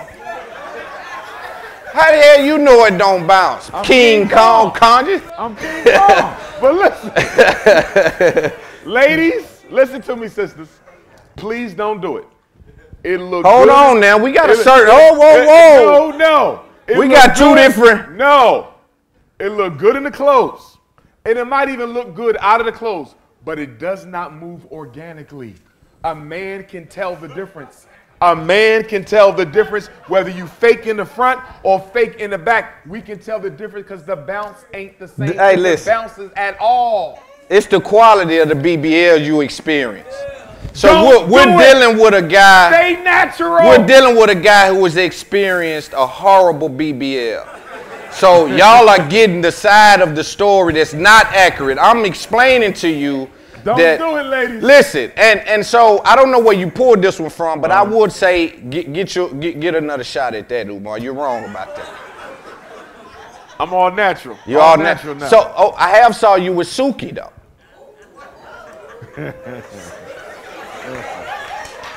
right? So shout out to my sister Suki. Shout out Shout, out, Six and? Red. We gonna talk to all y'all. Talk Yes. about all y'all. I saw you with Suki on. Yeah, Sister Suki and I, we're, we're friends. Mm. Uh, we conversate on different topics. See, here's my thing. Here's my thing. As conscious as we are, we can't be so self righteous that we can't go to where someone else is and try to move them from where they are to where we need them to be. I'm not the pastor who condemns everyone in the neighborhood and never get them to join the church. You see that? You have to meet them. She's a very influential woman. Yes. If one day she decided to come on over to the consciousness movement, everybody who follows her comes right on with her. And that's the day that I'm looking at. You see what I'm saying? So me, I communicate with anybody. And that's one of the strengths of Dr. Umar. They're not going to feel condemned, right? I'll get a brother with a white wife. He'll come over, Doc, I know you see what I got. he said it like it's a bad sandwich or something. You know what I mean? No, you see what I ordered, bro. No, they, they say, you know, but you know, can we still have, of course, have a seat, my brother? Because guess what? If I cut him off, he'll never go back to a sister. But if I stay with him, I don't even have to talk about his white wife because I'm not going to disrespect her. She's still a human being. But by allowing him in my space, he's going to start reanalyzing that anyway. And then one day he comes back with a beautiful black queen. Doc, I had I couldn't do it no more. You Okay. see what I'm saying? So I've noticed in my work through the years, just exposing people to what's right can lead to a change in behavior. I remember back in my Garvey days, right? And of course, I'm still a Garveyite, but back in North Philadelphia, we got Temple University down the street, University of Pennsylvania, Drexel. And the students would come to the Garvey meeting and they would say, Marcus Garvey said, race first, put the race first. I can't do that. I love everybody. I said, it's not about not loving other people, it's about loving yourself first. Well, I can't do that. No problem, just come to the study group. I didn't pressure them kids. And guess what? They slowly, one by one, started joining on their own. Just walk, I'm ready to sign up. I didn't do nothing, just expose them to the truth. You see what I'm saying? So that's why I will meet with anybody, I will go anywhere. Just like Christ said in the Bible, I'm not comparing myself to Christ. When they say, you know, Master, would you go into the house of a thief? And I, he said, I go anywhere where I'm invited. That's how Dr. Umar is. I'll go anywhere I'm invited because I know that when you are presented with the truth, your soul responds to it. And sooner or later, sooner or later, you're going to have to come around as well because we as African people, we are God's chosen people. And therefore, we are structured to, to uh, participate in righteousness no matter what. You see what I'm saying? So when somebody holds up that mirror of righteousness to you, sooner or later, you're going to have to consider it because that's your nature anyway. You know what? And you know, I, I think, like I say, man, you, you, you're great at this. You're definitely great at this. But we didn't get an answer about Suki. We talked about a lot. You took me around the I corner. I told you we, we, we friends. We right, talk. right. But but okay, so because see, we coming off the BBL conversation. We're coming off how you are not interested in BBL whatsoever, and I don't know if the sister has. Well, actually, I've never seen her that way. I We platonics. Right, right. But but again, I'm telling you that the circumstances are the circumstances, Mm-hmm, unknown or known, right? And so by you being someone who is that strong about BBLs, right? I'll ask you about Sook, and I'm just telling you Right, how, right. how we kind of Uh-huh, got to uh-huh. her anyway, because I don't want it to seem like it's just. I never asked, and right? I wouldn't. Right. Okay. I don't okay. think it's my place. Right Yeah. now, but you've heard some of the things she's said about you, right? Yes. All right, so meeting someone with a BBL that said some of those things about you, meaning that she finds you attractive, uh, she, you know, certain things that she. So I'm saying the meetup. I mean, help me understand what's going on there. The meetups are professional and platonic. With a with a woman that calls you attractive with a BBL. Professional and platonic. Okay, shut up. I'll leave it at that. Shout out to Suki. Shout out to with Suki. with with. Do you know Sexyy Red? Familiar with Sexyy Red? I've seen her recently. I never heard of her before. Ha- you familiar with her content? I've heard the kind of. I, I've never heard her rap though. I haven't seen a video. That's some of the kind, and I got her coming on soon, so I don't want to, Okay. you know, Right, right, right. slander her at all. But uh, you know, it's just I was having that conversation about about female rap and and how, um, in my opinion, they're kind of mimicking what they saw the men do in gangster rap. I agree with you. I don't think that they necessarily created this path. Oftentimes, I see them uh, promote a lifestyle that they don't even adopt. Yes. And it's dangerous, but it's dangerous the same way the men done it. And I so agree. I believe the men really led those I women agree. into creating that kind of content. I, I totally agree with you. But the men were never held accountable for it. Right. The women are being held. It's the double standard. Right. And the women, again, sometimes they get with these guys, right? And it's like, and this is why I try to give grace on the content, but I know it's effective in regards to its programming minds. I know that, but I try to sometimes, because I always try to think, put myself in someone's shoes like I did with Deion. It's like, yo, see out of their lens, right? See out of a young girl like Sexyy Red with two kids, two baby daddies, they both in jail, and I know how to rap. And I start rapping like this and it started going. Do I turn that off when I have nothing to fall back on? Like how many people will actually at 24 years old start getting 100,000 a show, 60,000 a show and just turn that off? Even if I know I'm not necessarily adopting that lifestyle, but it's effective for the family. And I think so many of us live in that place. You do. We all, that's why I try to give grace, right? I don't exempt anyone, but I try to understand the route they're taking. That's why when I look at a Deion, it's like, ah, not a finished product. I think that we're on a journey, and Colorado is just on that list of getting where I'm going. And the same with Sexyy Red, it's like you get in that position, turn this on, and it works. Mm-hmm. I got children. What do I do? What do you what what would you say to a young girl that's rapping that kind of content? How does she get out of that? I don't think my message would be to the young girl rapping the content. I think my message would be to the black community that gave rise to the circumstances that put her in a position where she had to sing that content. I think one of the things we often miss when we talk about accountability, responsibility, is that we fail to recognize that everything we do takes place within a culture. It takes place within a community. And too often, because we are a disorganized, selfish group of people, we like to make individuals the scapegoat for systemic problems. You see that? Whether it's Sexyy Red, whether it's Sister Sukihana, whether it's the gangster rapper, everything takes place within a cultural context, right? So what, what, what situation was she born in? What situation were her parents born in? What did the black church do for her mother? What did the black politicians do for her mother? What did the black community organizers do for her mother? What can they do? Well, number one, if it wasn't for the economic desperation, a lot of our young people will be making better decisions. That's what I'm saying. That's that's the point I'm making. Yeah. It's like, yo, this thing working. Yeah. And and, and, and, and, and she should have never had to go there. The reason she had to go there is she belongs to a community, the black community, that does not feel the need to use its disposable income to create financial opportunities for its young people. Go to the streets right now. Our young people are terrorizing our community. And it's our fault because we have not created any opportunities for them. You let me go to a school that miseducate me. I get special educated. I get medicated. I get juvenile adjudicated. I get incarcerated, right? I get gang initiated, right? I get raped. I get molested. I get put out on the street by my mom, whatever the case may be. And now all that pain that the community allowed me to feel, I'm going to give it back to the community. And now you got 11 year olds robbing 84 year olds at the ATM. That video that came out last week, it made me want to cry. He looked like he was nine years old, robbing someone old enough to be his great grandmother. But when we allow our children to be raised by social media, when we allow Yeah, our children up. to be raised by the television and not raising them ourselves. I mean, think about it. If you're a black child in Nashville, you're a black child in Chattanooga, you're a black child in Knoxville, Memphis, where can you go if you really need an adult to spend some time with you? There's nowhere to go. You can go to church, but you got to swallow their doctrine before they value you first.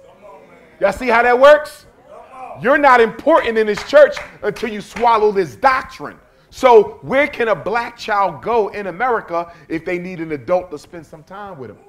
You see that? But the pimp will spend some time with me. The drug dealer spend some time with me. They're going to use me and exploit me, but they're going to spend some time with me. We have turned our backs on our children. We have not raised them. We have not nurtured them. And now the black community is collecting the karmic debt that has come from our neglect of our children. Is, is schools and jobs.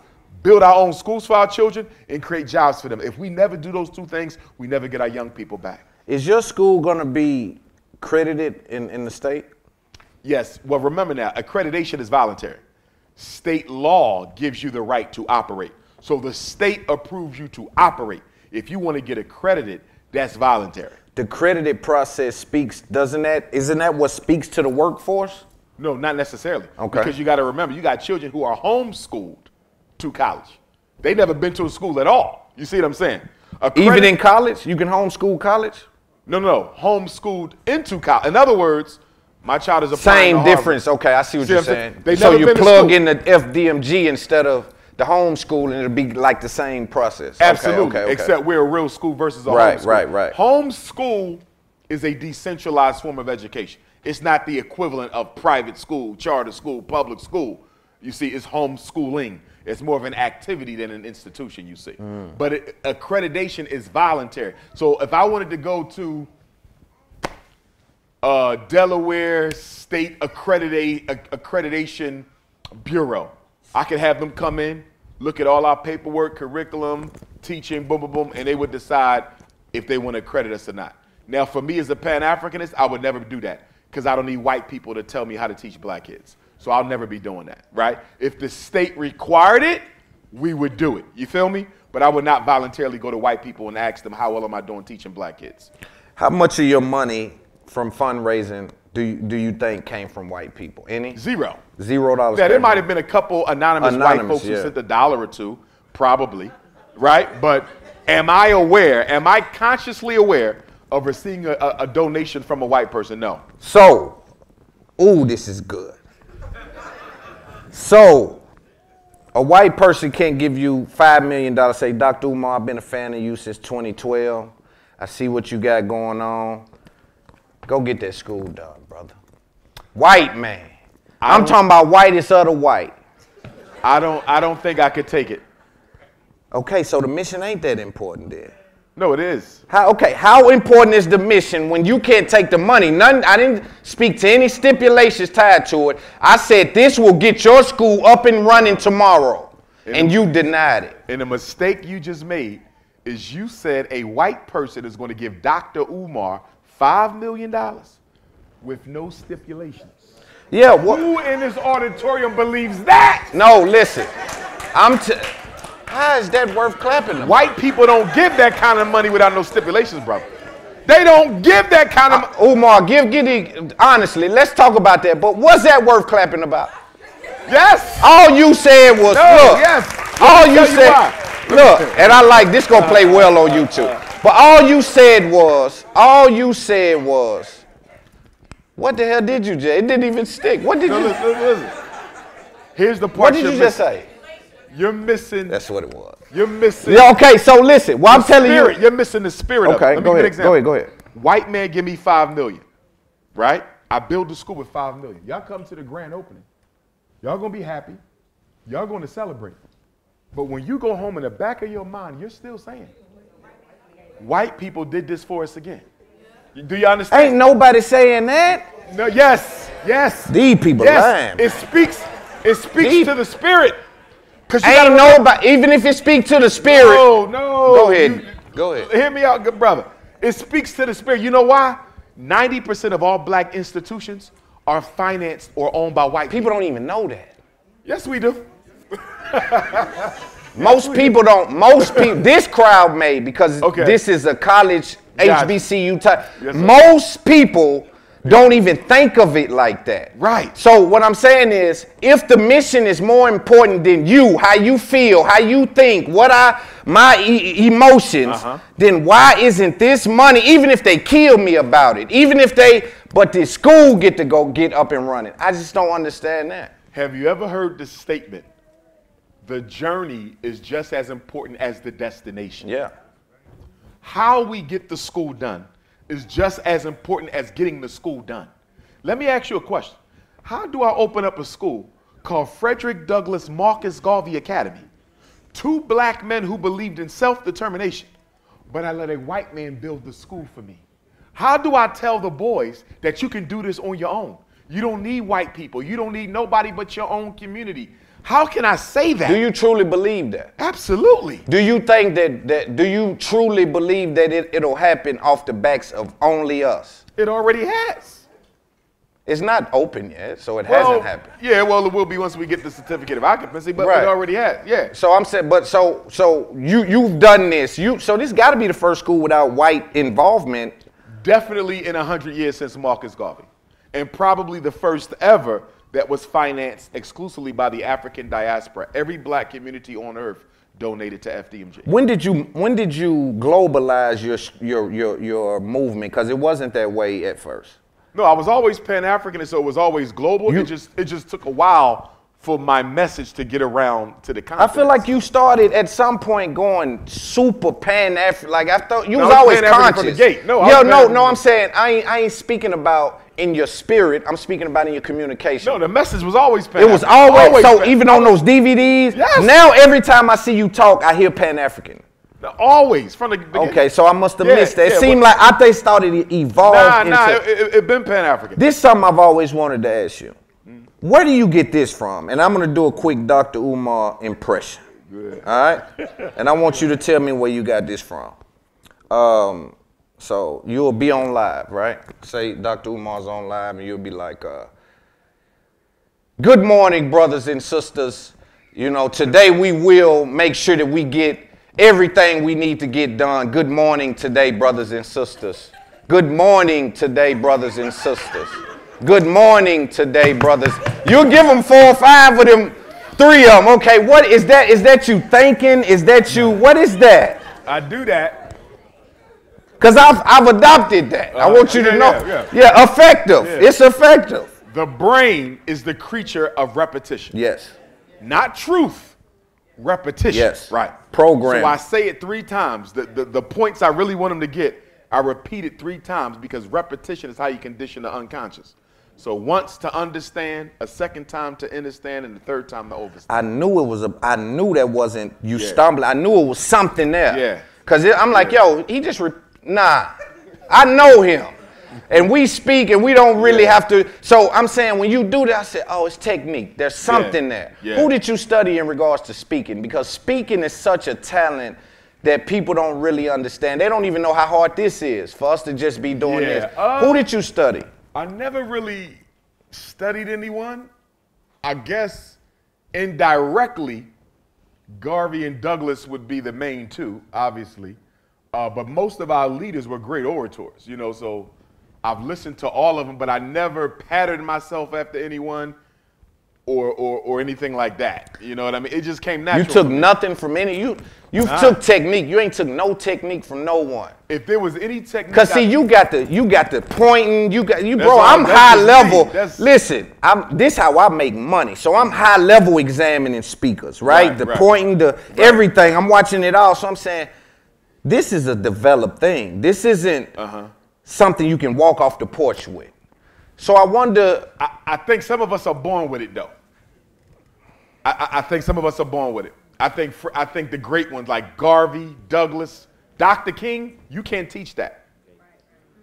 You can nurture it. I ain't saying teach it. nurture And that's what I mean. Like you can't teach it. I'm not saying teach it. Right. Because teaching But you will can speak. teach people how to speak, though. Yes, but not on this level. Right, So right, I'm right, saying right, when I'm when I'm peeping what you're doing. right. Understand, I've already identified that I'm trying. I'm watching the best speakers in the world because this is how I make Mm-hmm. Yes, my sir. money. Right. So I ain't even talking about the rest of those guys. I'm saying the highest level of communication. Uh-huh. Right. You, the the Farrakhan's, the people that I look at and say, oh, all right, I, let's let, let pull a notepad out, get some of that technique because there's there's breath control, there's pausing, there's repeating, there's Mm-hmm. there's face, you know, there's so much that's happening. Yeah, yeah. And so I'm wondering who deposited The- the- anything. The, the, the only technique that I'm conscious of having borrowed from my predecessors is the need to pause Yes. occasionally. Yes. Because y'all So know when I get in important. I'll just go. Yeah. And I won't stop. So I consciously try to Yes. remember to pause. Yes. And that's probably more of a Frederick Douglass thing Yes. than anything else. because people have to take it in. They Even with me, up. like, see, because even with me, when you try to get into that vibe, Yeah. you know, it's like, all right, at some point, I got to start talking to you like you listening. Uh-huh. You know what I'm saying? And Yeah. some people, they just talking. You got to talk to somebody like they're listening. Yes. You know, and sometimes Yes. when I need emphasis on something, I need to lay there for that. Mm-hmm. Like I, I even in our communication today, today, you would say something like, uh, for your black liberation, and you'll just let that live. And I think those techniques, I just want you to know that people are watching those things, and you're, you're pouring into people indirectly just by. You, you, you, know, spiritually, right? There's about five different major spiritual gifts. You have your clear cognizance. That's when information from the universe is downloaded automatically into your mind. You know it, but you don't know where you learned it. That's clear cognizance. When I speak, not all the time, but sometimes, clear cognizance will take over. And I'm saying things about things I've never learned nowhere. So it's coming directly from the ancestors. And I'll go back and look at a clip and say, How did I say that? And I didn't even know that. Yeah. So there's sometimes you get into a zone Yeah. Where it's not even you. Oh man, I love those zones. You, you follow? That's oh man, them zones there. When I if I can get in a pocket on Yeah. these boys, Yeah. it's nothing like it. That's man. what I'm saying. It's not all the time, and you no, know when it's coming. and it's magic, and Yeah. you feel it as a speaker, as Yeah, someone. yeah. You say, And you know when you win Yeah. I got it in my bag. like, I'm not stopping. Yeah, yeah, yeah. like, yeah. take a break. We ain't taking no break. No, we can't. The ancestors Yeah, yeah, We're gonna keep yeah, yeah, yeah, yeah, And the yeah. one thing I learned about public speaking, public speaking taught me more than anything else. We have no control over the outcome. Because I walk into a certain lecture, I'm like, oh, I'm gonna tear this up tonight. It's the right sound, right building, right this, and it'll be a regular lecture. And then I'll go somewhere where I'm like, okay, this is just gonna be a regular little talk. It's my classics. All of my classics were unintentional. Mm. Every one. Mm. The ones that people love, I'm like, damn, I never even thought that night was gonna be that special. And it's never up to us. Yeah, and this is important for the young content creators because they're watching us. But here's the thing too. Um, as I'm going further and further, I just did Invest Fest for 20,000 people, right? And so when you come out and it's and it's that many people, you look around like, what is this? Right? And it's like you blow a circuit or you blow a fuse. You get it back, but for a brief second, it's almost like, what? Like zoom. It's like everything you was thinking, your thought process, but it eventually comes. It, it eventually comes back. Do you find yourself um, ever being in that mode? Because you speak so much now, I don't think you you may you may find Well, yourself in it. for it. me, the best speech is the first time they saw you because there's no expectations. You feel me? If I'm going like uh, I'm going to Cameroon, Africa next week, right? I was in Brussels, Belgium last week. I've never been to Brussels. So there's no pressure because I know they know me from social media, but they never felt me in the person. Right. This is no pressure. Right. You know what the pressure is? When I've been in Nashville 10 times and y'all came back to see me that 11th, that's pressure. Because y'all know what to expect, y'all seen it, and I gotta give y'all a new fresh message and be even more dynamic I was the previous nine times. Yeah. So some people would say the more you come back to a city, the easier. Not for me, it's the harder. Yeah. You feel me? Like a place like Chicago where I spend a lot, New York where I spend a lot, it's pressure. Yeah. Because not only do I got to have a new message, I got to grab you Every time. better than I did the last time. And, and what I'm trying to do, right, because I'm ascending so fast. So I'm trying to figure out when now I'm conscious about this as as I'm getting because it's so much money on the line. And anybody watching me, I got millions of people watch. I need y'all to know this. Pay attention to whatever you're doing.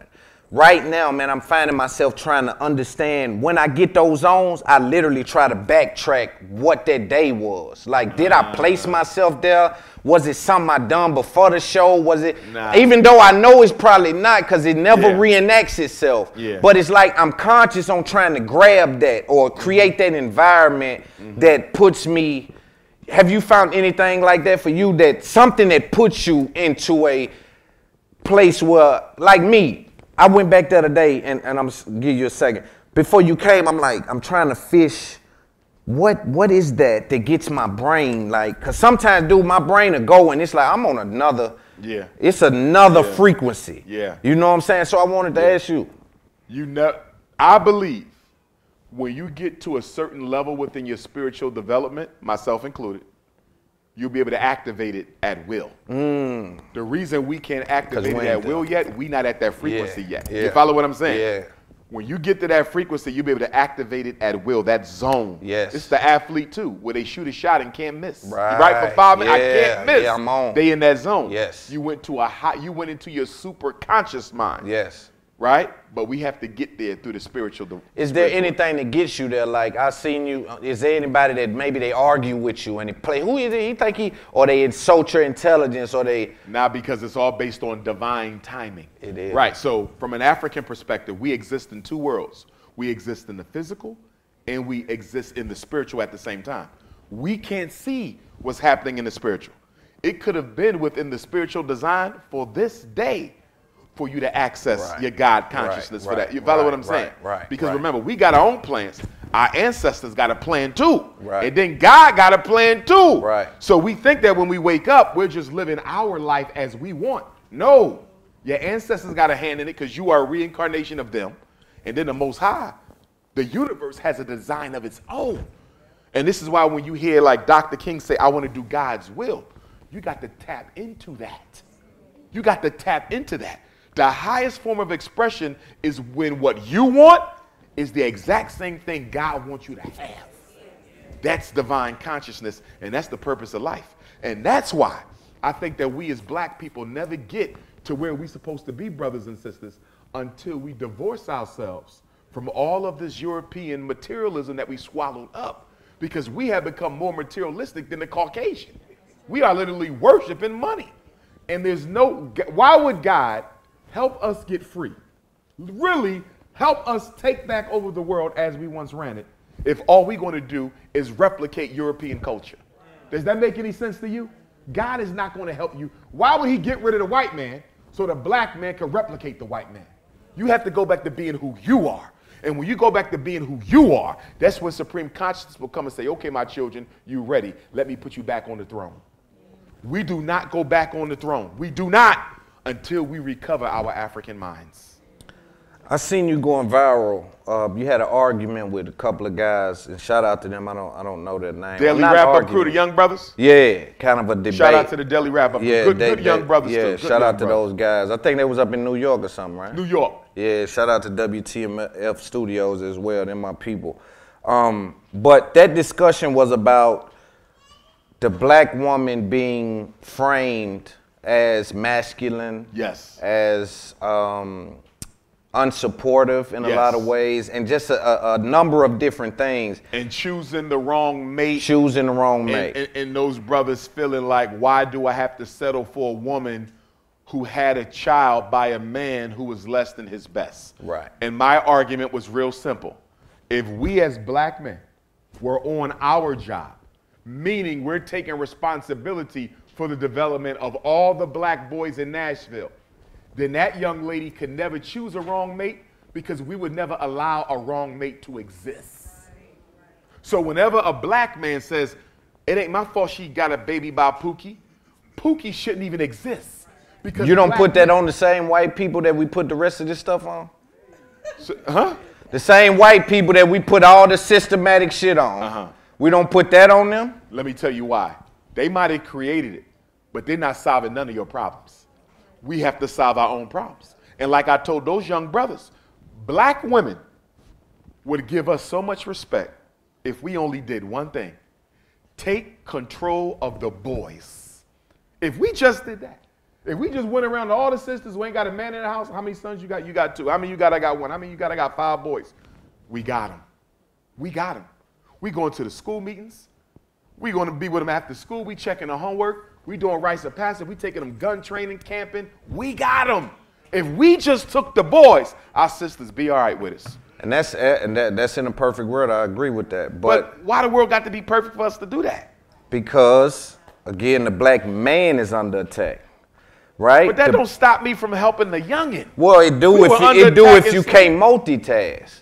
See, everybody ain't got we the kind of multitask when we be chasing that ass. yeah, but that's that kind of multitask is self-satisfying, right? That's a self selfish, self-satisfying Yeah. multitask. So that's a bit different. You're asking people to multitask and give, not get. Right. So it's a different circumstance. I see what you're saying. Right. When we when we telling someone that's under attack to a not only think about yourself, think about that other individual over there that ain't yours, that ain't got nothing. And I'm with you on the in the overall, the overarching goal, but I want to deal with the reality of it.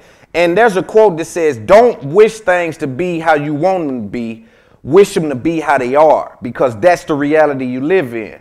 Things will be what they are, no matter what. You can't change that, Umar. You can. We can do all. You can't change it. It is what it is, bro. We can't look at it for what Question we want it to you. be. Question for you. Go ahead. Here's what I think, and, and I agree with mostly what you said there. Here's, here's what I think. I think we as black men, and I'm talking to all the brothers in here, although not all of you are guilty of what I'm going to say, but I'm speaking to us as a brotherhood. I believe we have gotten so comfortable scapegoating white supremacy that we don't want to take responsibility for anything in the community ourselves. Are y'all following me? That's, that's where we at. as men. Somebody, yeah. That, that, that, that's, that, that's where we at as men. It's like we don't want no responsibility. It's either the black woman's fault or it's the power structure's fault. What the hell are we going to do? I didn't say black woman. No, no, I'm not saying you. Yeah, I I'm want. I'm talking about for my Right, audience. right, right, right, right. there, But I'm saying in the general conversation, the narrative, either the black woman is the problem or the white power structure. That's most of your convers- conversation. No, sir. Not the black woman, but definitely the white power structure. Cause the problems, but the solution is ours to make.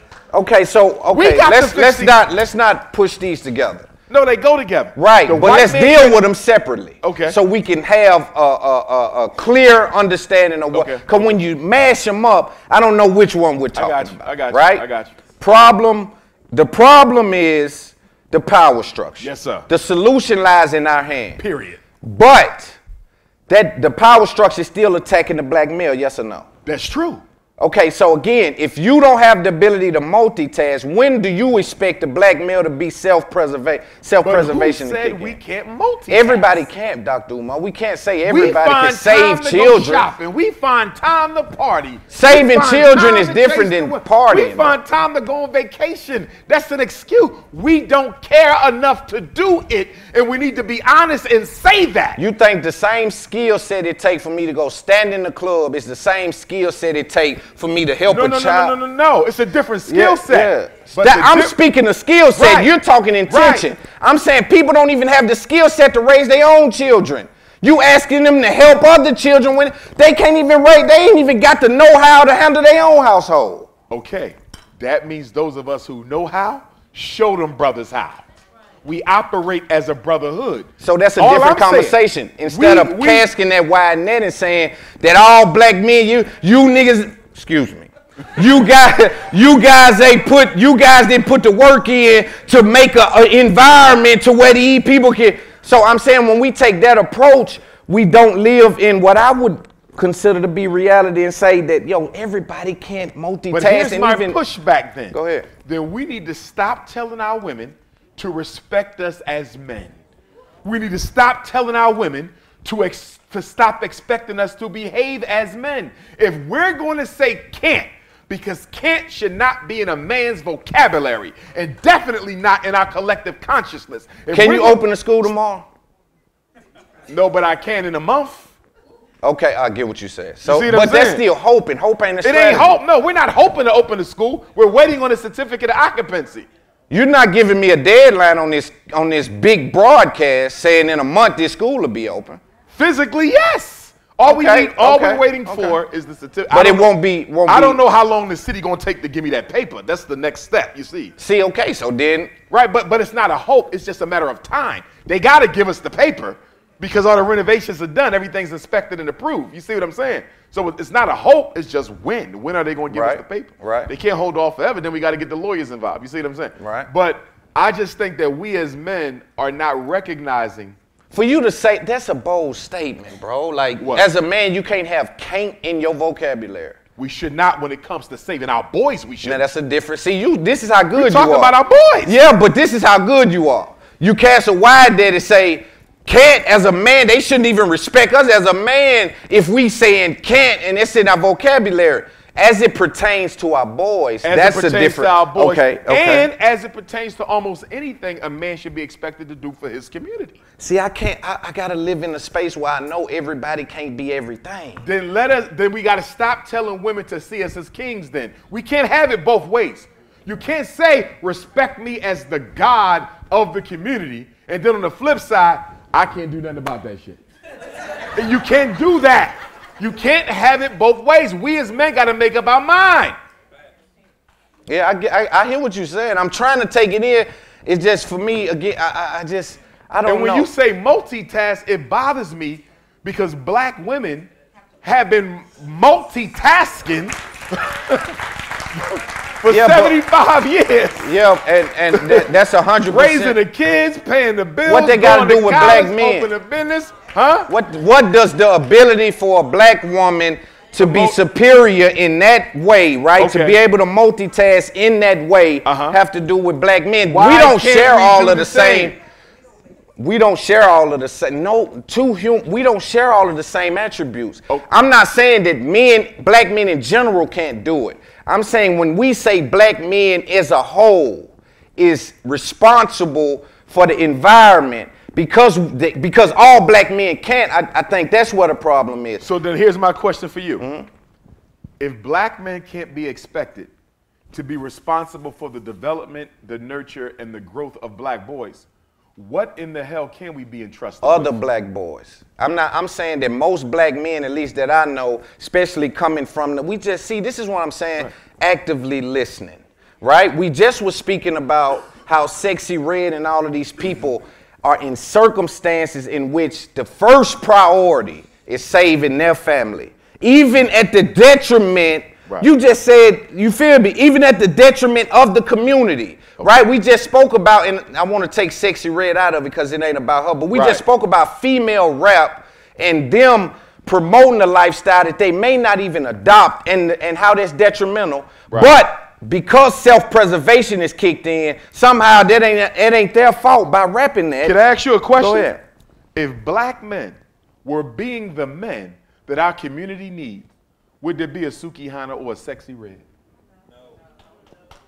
Why not? They wouldn't exist. Let's elaborate before we. Why, why not? The circumstances that gave rise to those two beautiful black women having to engage in the art form that they are in in order to take care of themselves and their children, those circumstances that gave birth to this reality would have never been allowed to fester. Men control the structure and the set boundaries. We don't do that. And if we're going to say we can at least be responsible for the boys, if we're going to tell black women that we can't do nothing with our boys, what else should she be willing to trust us with? Do you push that off on what about the boy's father? Okay, you, you, the push it to the that. community, right? First what all, about his father? Okay, that's not our culture. Our culture is collectivism. If you're not there, I got to be. It's that simple. The reasons don't even matter. He ain't there. I got to take his place. I am because we are. We are because I am. See, we like to scapegoat individuals because we don't want no collective accountability. How many kids have you personally, and I don't mean over the phone? Wow. How many? Too many to count. A, a lot of them. Too many to count. Do you think? Do you think you've touched more children than Deion Sanders? I think it's very possible that I have. And I'm going strictly off of the feedback I get from young men, right? Through the will of God, because I give the grace to the Lord. Right. I get messages that sometimes make me cry from young men. You're the reason I didn't take my life. You're the reason I didn't leave my family. You're the reason I finished college. You're the reason I came back home. Sometimes I get these testimonies from these brothers, man. I feel like they're making it up because there's no way you're telling me I influenced your life that much. You see what I'm saying? And these are the ones who I've never even direct, but then you have the ones who I've directly mentored, spent time with, and assisted. You see what I'm saying? And that's why when we go back to the money thing with the whole podcast piece, and I need to look into that because I need that money to build more schools. That's what I'm saying. That's why I have to do it for more schools. and schools. this is why I say if the mission, the mission is, it's a lot of money even being left out there. That's yes, just sir. left on that the we ground. need for the mission. Yeah, I'm with you. yeah. But I was just going to say that's one of the reasons why the money never really factored mightily into my vision because I get paid back so much through the spirit for what I give to the people. And see that that- sometimes that blinds you or distracts me from, From even looking at the Yeah, X's yeah, and the yeah, O's. yeah, yeah. You see what I'm saying? Because it's like, damn, i- i- if I'm able to do that, I could give a damn about the money. You see what I'm saying? And see- but we need the money Yeah. for the mission. And also, but see, that's still that's that's you fueling the motivation. That's what I'm saying. The, it, the motivation is important, man. Oh, yes, yes, And so you live in that spot, like you, Deion, me. A lot of people, people clips go viral of like. She said, "Why you keep bringing up Deion?" because because I, I I'm a fan of Deion and that's my guy. Yes, you sir. know. It's okay, right? My show. Born in Colorado. Yeah, now shout out to Deion, shout out to whoever asked that too. But what I'm what I'm saying is is is that is that and and, and again I'm doing this because now, now let me address that. Give me a second. The reason I continue to bring up Dr. Sanders with Dr. Umar Johnson is because there's a fight amongst black boys to understand which one of these guys and why there's infighting going on between these guys. Seems like you have colorful conversations surrounding some of his moves, and then half of black coaches riding with him. So my job is to try to comb through this and see if we can figure out what the issue is. You know what I'm saying? That's all it is for me. I want the information. I'm curious. Deion is somebody I know, I look at, he's motivating people. You somebody I know, you're motivating people. We talk all this black power stuff. I'm trying to figure out why is there any kind of disagreement about his mission, your mission, because you were the same guy on a 10-year mission to build a school. so I look but yeah. nine-year mission to build a school. So I look at Deion like he's on a mission. So that's why I want to comb through it. That's my thinking. I want to have that conversation with you, and we had it. we just stopping because someone brought it up. for me, my biggest concern for black men at this time is I feel like we've grown extremely selfish. I don't think black men have the type of spirit that our ancestors had. You know, you got to realize we come from a legacy where black men gave their life for the community. I mean, literally, widowed their wife and left their children fatherless for the people. And I look at us now where I can't even stay at a black school and help build this up.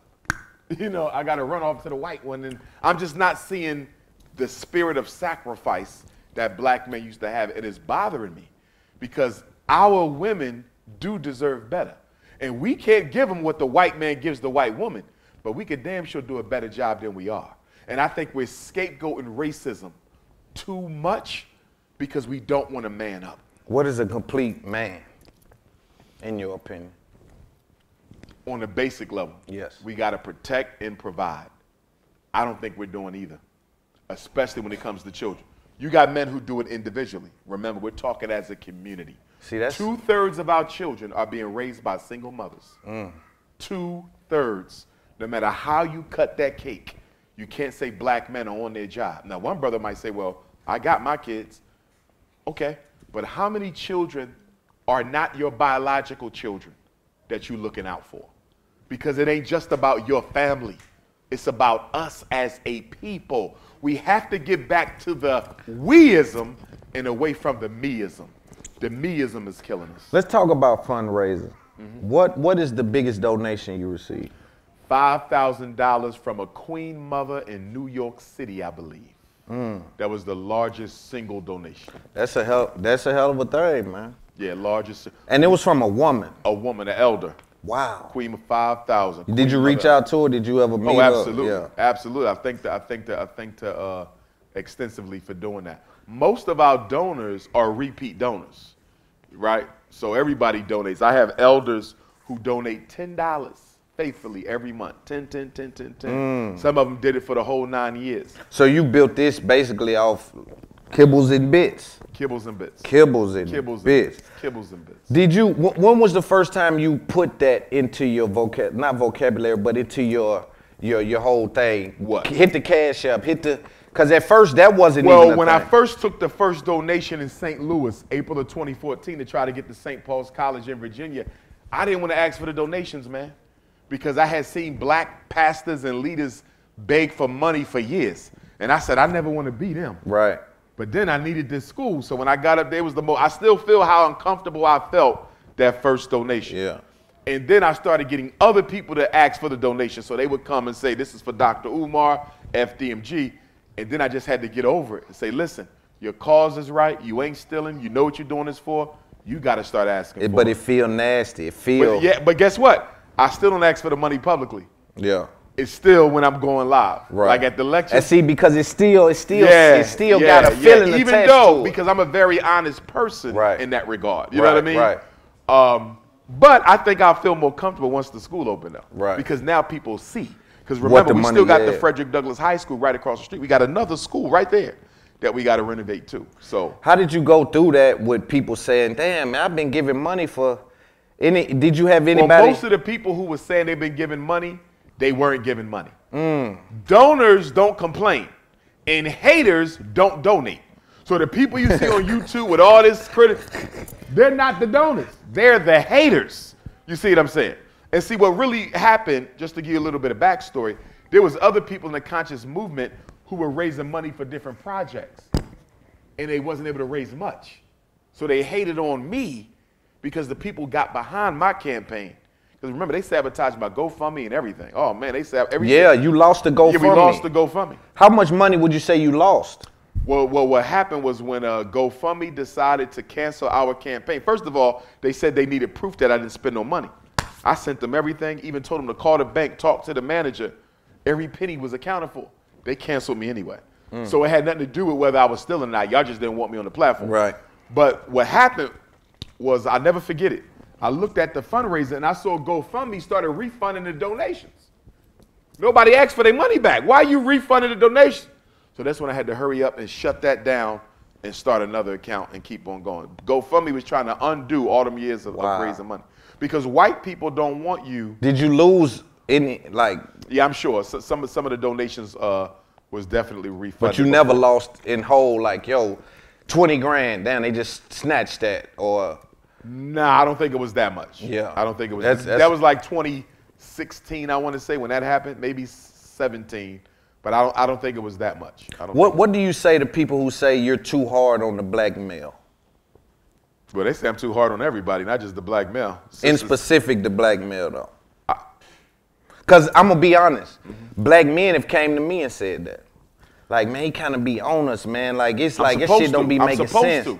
Yeah, I'm but I think that th- there's a disconnect with with with some of the some of the understanding that you give the black woman Uh-huh. in regards to the systematic stuff, and it seems like the black man doesn't get that I same. think with the black, some black men, because most of our brothers they ride with me, but some black men have trouble understanding that although I have just as much criticism for the black woman, I am not going to repudiate and criticize my sister in a public space because black women are special. And because they are special, we need to treat them in a special way. And what these ninjas do is they'll get on YouTube, criticize, condemn, and cancel black women in the face of every other race watching you do it. No other man goes public and condemns his women the way black men do. And I'm not going to co sign that because it's wrong. You don't see Chinese men going live talking about everything wrong with Chinese women.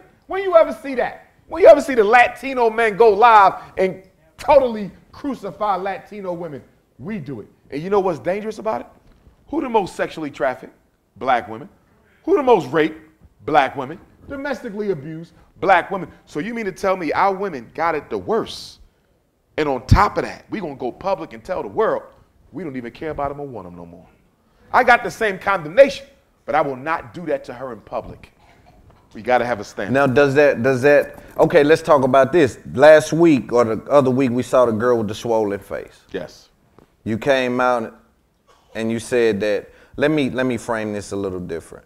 Last week, there was a story that came out with a black woman that had a reaction on her face. She alleged that some people beat her up for not giving her a number. You came out about that and kind of was critical about those men. That came out to be a hoax. We don't know that. Some people say it's not a hoax. I've seen several pictures and videos. I mean, I may that may could be wrong. Yeah. But I've seen several videos of her trying this, like several GoFundmes year after year, where she's literally oh, these guys, and this first time it's been that crazy, look that big, but she's had smaller ones where she's she's pulled this off before. I don't know because I put up a post that a sister sent me and said you need to hold her accountable because she made this up. And then everybody else start commenting under this that it wasn't made up and this is what you need to look at. So I still don't know what the truth But let's is. for the sake for the sake of conversation. If you were wrong, do you think that man, I probably did. I probably should have looked a little more into that. Do you ever because nah, because there's nothing wrong with holding black men to a standard of behavior in public when it comes to our sisters. that wasn't even there? Well, remember now, even if it didn't happen to her, black women are being choked out and murdered by their black male lovers on a regular basis. It's still but this issue. wasn't that situation. It may have not been, but Yeah. my point is, I'm not going to draw the energy back because When- that awareness that's coming from my commentary is still very much needed out there because black women are being abused and ignored. So at the expense of the black man, though, It's not because black, I'm, no, I'm telling you, black nothing. men, no, black men are not that they're not riding with you. I want to be clear, Right, they're right, still right. riding with you, Yeah. but they're they're whispering. Man, I kind of didn't. I don't know what that was about. No, they want the- me to beat the women up. I'm not going to do it. I tell them right now, I'm never going to do that. No, when you're wrong about nobody let her get beat up. And also, are you know. asking black men? I'm saying let's entertain it for the sake of Okay. conversation. And also, are you asking black men to put their lives on the line for, for would you put your life on the line for a woman you don't know and leave your children? Black woman? Yeah, black Yes, woman. We don't right have now. a choice. That's part of being a man. Right now. Yes. And leave your daughters without a without a father.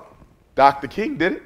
Malcolm did No, it. I'm Malcolm asking left- I'm asking Dr. Umar. Yes, it's part of who. Okay. Nobody wants to die. I don't have a death wish. Right. But I understand as a man, my obligation is to every black woman, not just the one I'm married to and the ones I gave birth to. Okay, sounds good. I like that. it definitely. I mean, because I'm saying, They you know, should, if a black woman some sees black, black women will teach you as a young black male. Uh-huh. Now here's a conundrum. Some black women will teach you as a young black kid. Don't you jump in that. It ain't got nothing to do with you. Yeah. You need to make it home to little tie tie and little run run. And I think that's appropriate for the children. But for grown men, it's not appropriate. Hmm.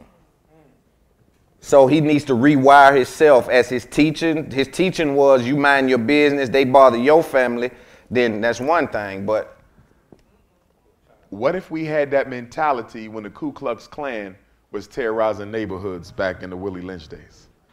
What if we said, I'm only going to worry about the Klan when they knock on my door? They would have picked us apart. We had to organize. Black people are no longer used to organizing because of our self hate and selfishness. The only way we come out of this is by working together. That's it. And even though we talk about the celebrities, we might as well lead them out the conversation because they're not going to be a major part in what we do until after we do it. No black celebrity has ever played a major financial role in any of our movements.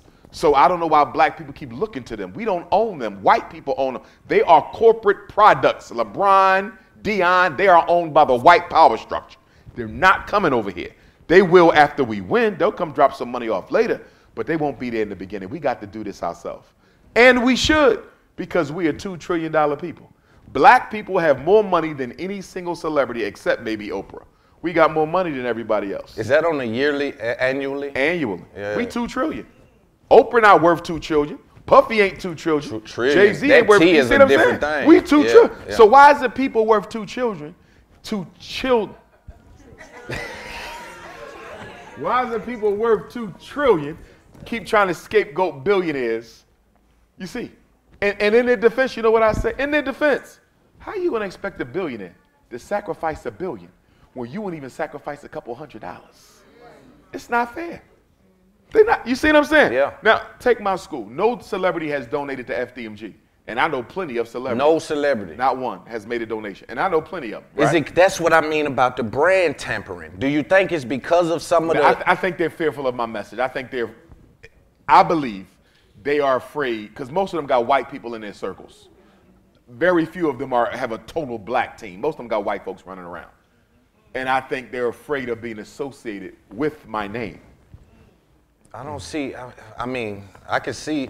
But once the small school gets up and running, some of them might donate then because they see I was serious. Because I think some of them was also influenced by the hate. That's the what I'm saying. That- Yeah. That's the brand tampering of Yeah, people saying, yeah. "Hey, this is a scam. Hey, this might not be doing that." Da, da, da. Now people like, I ain't knocking it, but I ain't supporting it. Like I really don't know what Right. going on. And he hard. I like how he talk. I mess with him, but I'm gonna stay on this side. I really don't know what the guy doing. Like, Right, right. dig what I'm saying? He right. might he talking about snow bunny never and all kind of. Well, like I don't know what the guy. Well, you know what I'm saying? yeah, so it, it's it's sometimes I, I be thinking like, you know, why won't these celebrities give? Because again, everybody. Well, let's be honest though.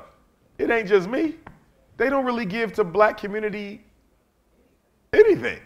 They do United Way, Democratic Party, you know, uh, uh, uh, because uh, they won't access the power. You don't got no power. They want proximity to what? No, I got a lot of power. They just don't want my kind of power. Th- I got they- black power. Yeah, They yeah, want yeah. access to white What power. happened to black power? It seemed like that word evolved to like woke or conscious or like, and it lost people. It's like they split it up. It used to be black power, and it's just like a group of us, and now it's like you got your conscious folk, you got your D folk. You know got- why?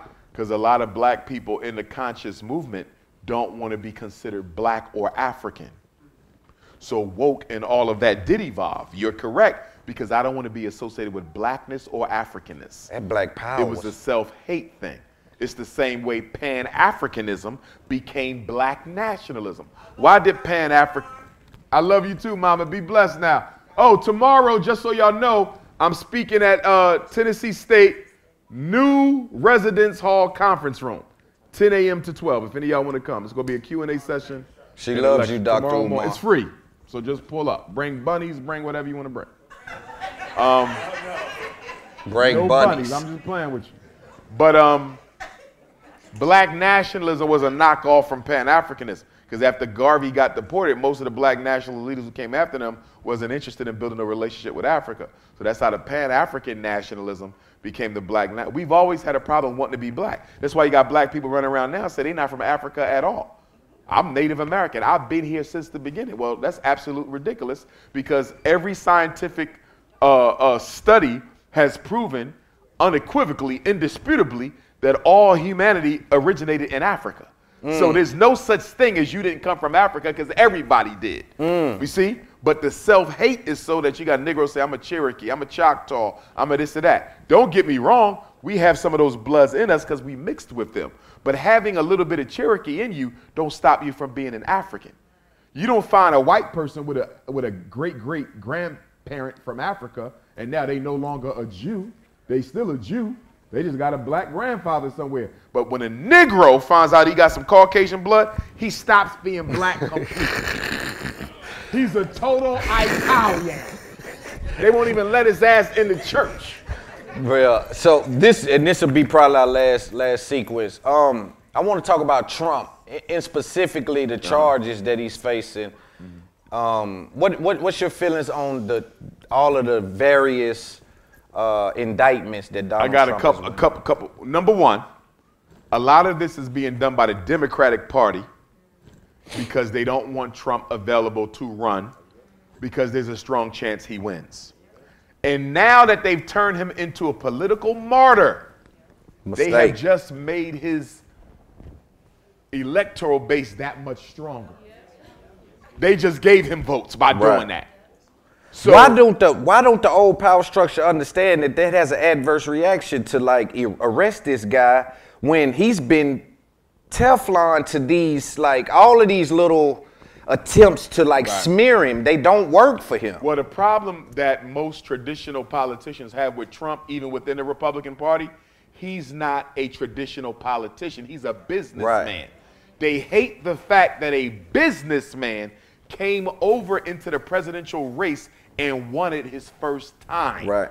See that? Now, here's the problem that the power structure has with Donald Trump. Because you know they select presidents before you vote for them. Mm. The problem with Donald Trump as president is he thinks he's actually in charge. He don't understand. You are an employee. We tell you what to do. Donald Trump doesn't have a political background, so he don't know the president. Scribbling outside the lines. Yeah, yeah. Right? Yeah. Obama knew I'm just a flunky. Biden knew because they are career politicians. Trump think if I'm CEO, I'm CEO. No, ninja. It just looks like you CEO. Remember, he didn't support the COVID. He didn't support the immigration. Went against He, CIA. he went against the LGBTQ. Yeah. They're like, what are you doing? Yeah. You're going against our major initiatives. So if they decide to let him win again, they're going to have a conversation with him. Because they're going to tell him, listen, Yeah. you can't go against this, this or this, or we'll have to kill you. Because he exposed a lot. He, he exposed a lot. No, that's what they do. They kill folks. And they don't want to have to kill him because he's too popular. You feel me? Right, and it's gonna be clear as day that y'all Yeah, done yeah. So they're gonna, have, they gonna have to sit him down and tell him, listen, man, your second term can't be like your first term.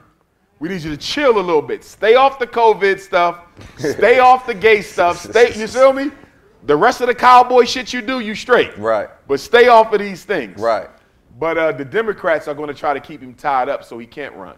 Now with that indictment, what if I, he runs, he wins. Yeah, he wins. Yeah, but I'm looking at that indictment number one for what Trump. I I feel like it's a, a, a global circus, right? We're arresting the president. It's just all kind of stuff going on.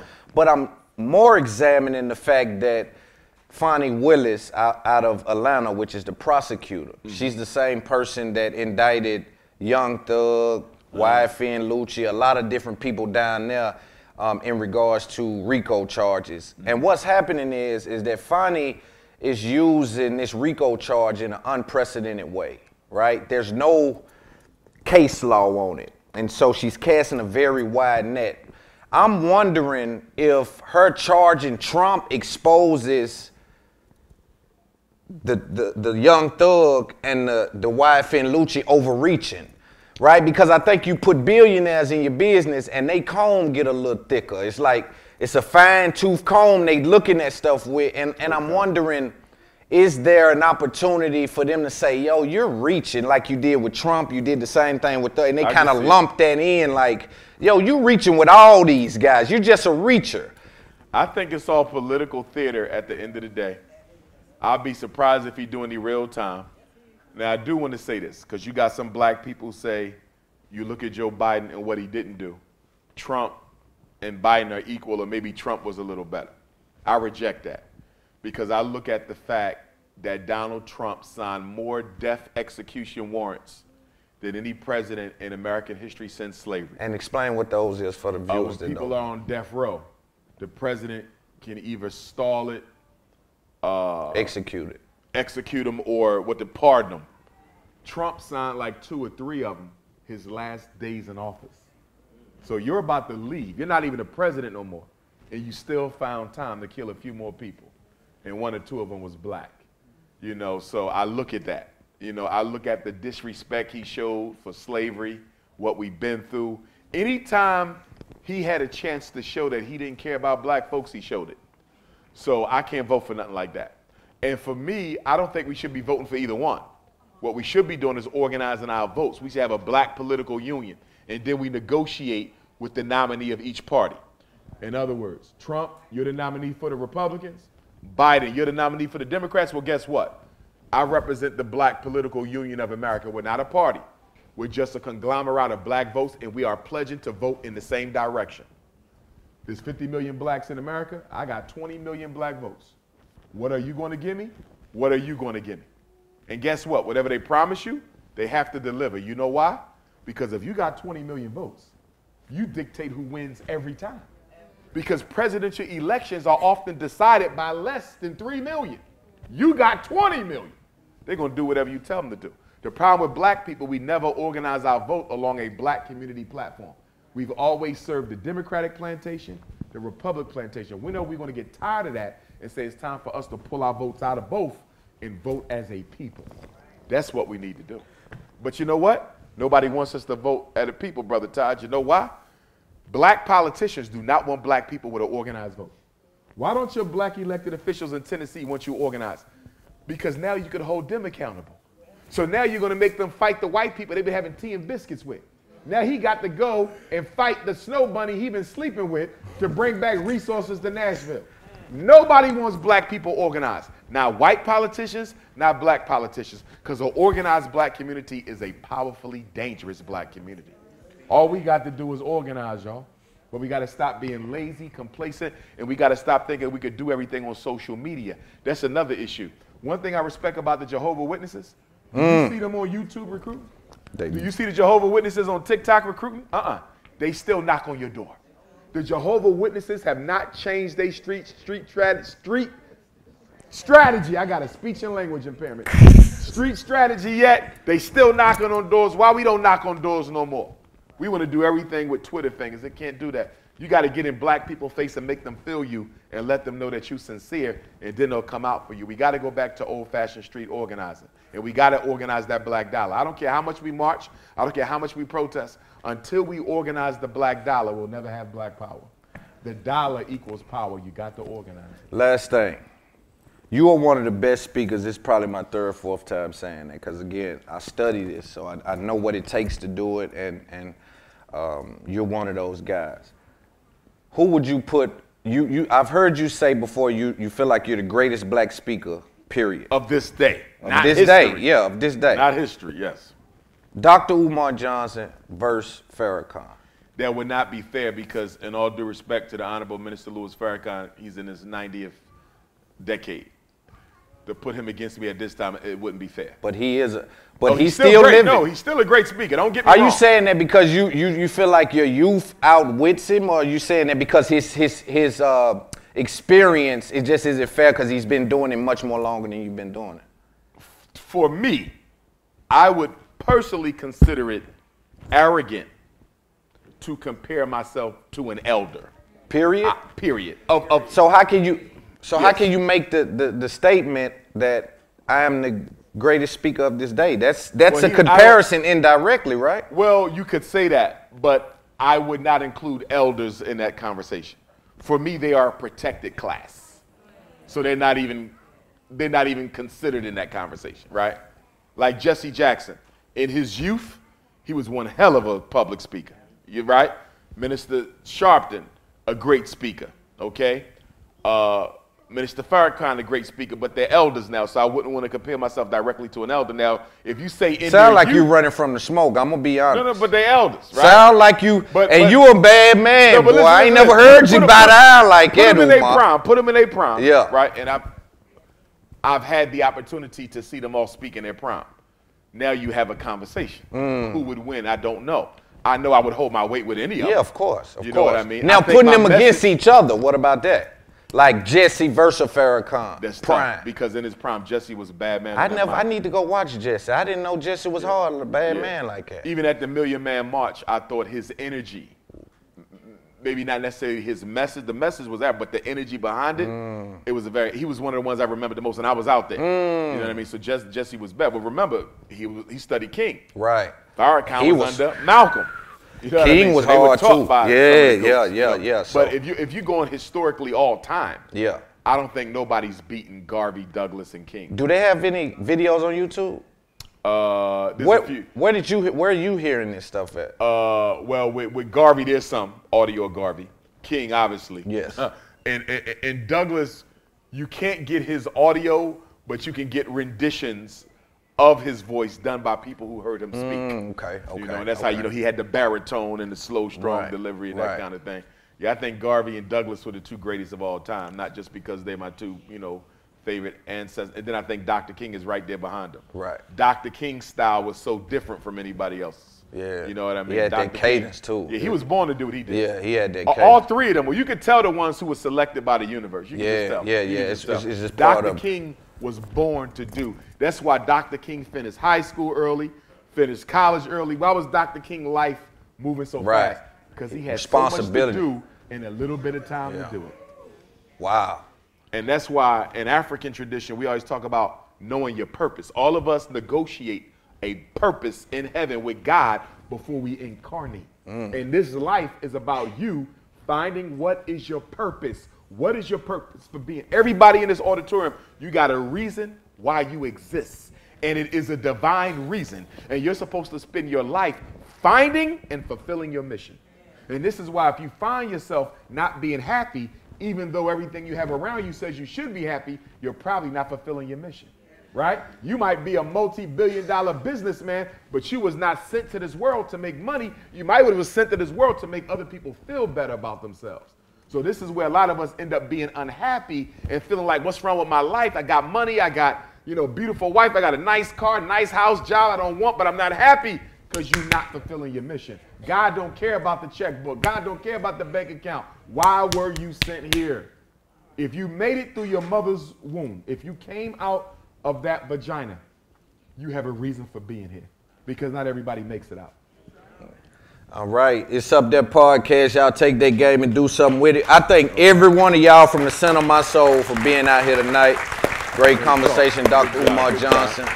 Definitely going up on YouTube. And uh, just to let y'all know, tomorrow at uh, New Residence Hall Conference Room, I'll be speaking from 10 to 12 in the morning. It's early because you know the game is in the afternoon, and I will be going to the game. I haven't had a chance to go to a lot of HBCU football games, so uh, this is one, and I'd rather be here than Boulder, Colorado. Um, and let me give y'all my phone number in case any of y'all ever need to reach me, especially parents about your children if you got issues and things like that. And if you work with, you know, uh, distressed populations, if you ever need me to come and talk or do a seminar or workshop, let me know. I'm a distressed population.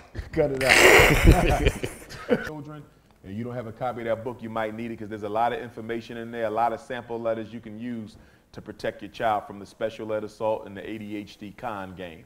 No drugs and no IEPs. IEPs don't help nobody, and drugs don't do nothing but destroy the mind. Stay off it. And for my parents that are autistic children, stop getting those autistic children evaluated at two and three. They're too young. You can't prove autism at two. They might have some of the features, but you can't be sure until they're at least five or six. The reason the school wants you to test them at two and three is they want that money. It's all about the money. They want to start the money. You tell them, uh uh-uh. uh, i am just going to watch my baby, let him grow. Next year, I'll check in with you. If I start, if I feel like he's autistic, I'll let y'all know. But we're not testing him because y'all feel it. We got to test him because I feel. Make sure you understand you are in the you you're in the driver's seat. If you don't sign, they can't do nothing. Even if your child is in special ed, I keep telling y'all that. If you don't sign permission, nothing can happen. You are always in charge. Also, it's up there podcast. Everybody go subscribe. This interview and some behind the scenes stuff will be coming out. Our next event, if it'll be here or somewhere else, but we're working through that. It's already locked in. So anyone that RSVP to this, watch out for your email. You'll get an email, maybe a location change, it may not be. But if you're here tonight and you want to be at the next one, I salute you.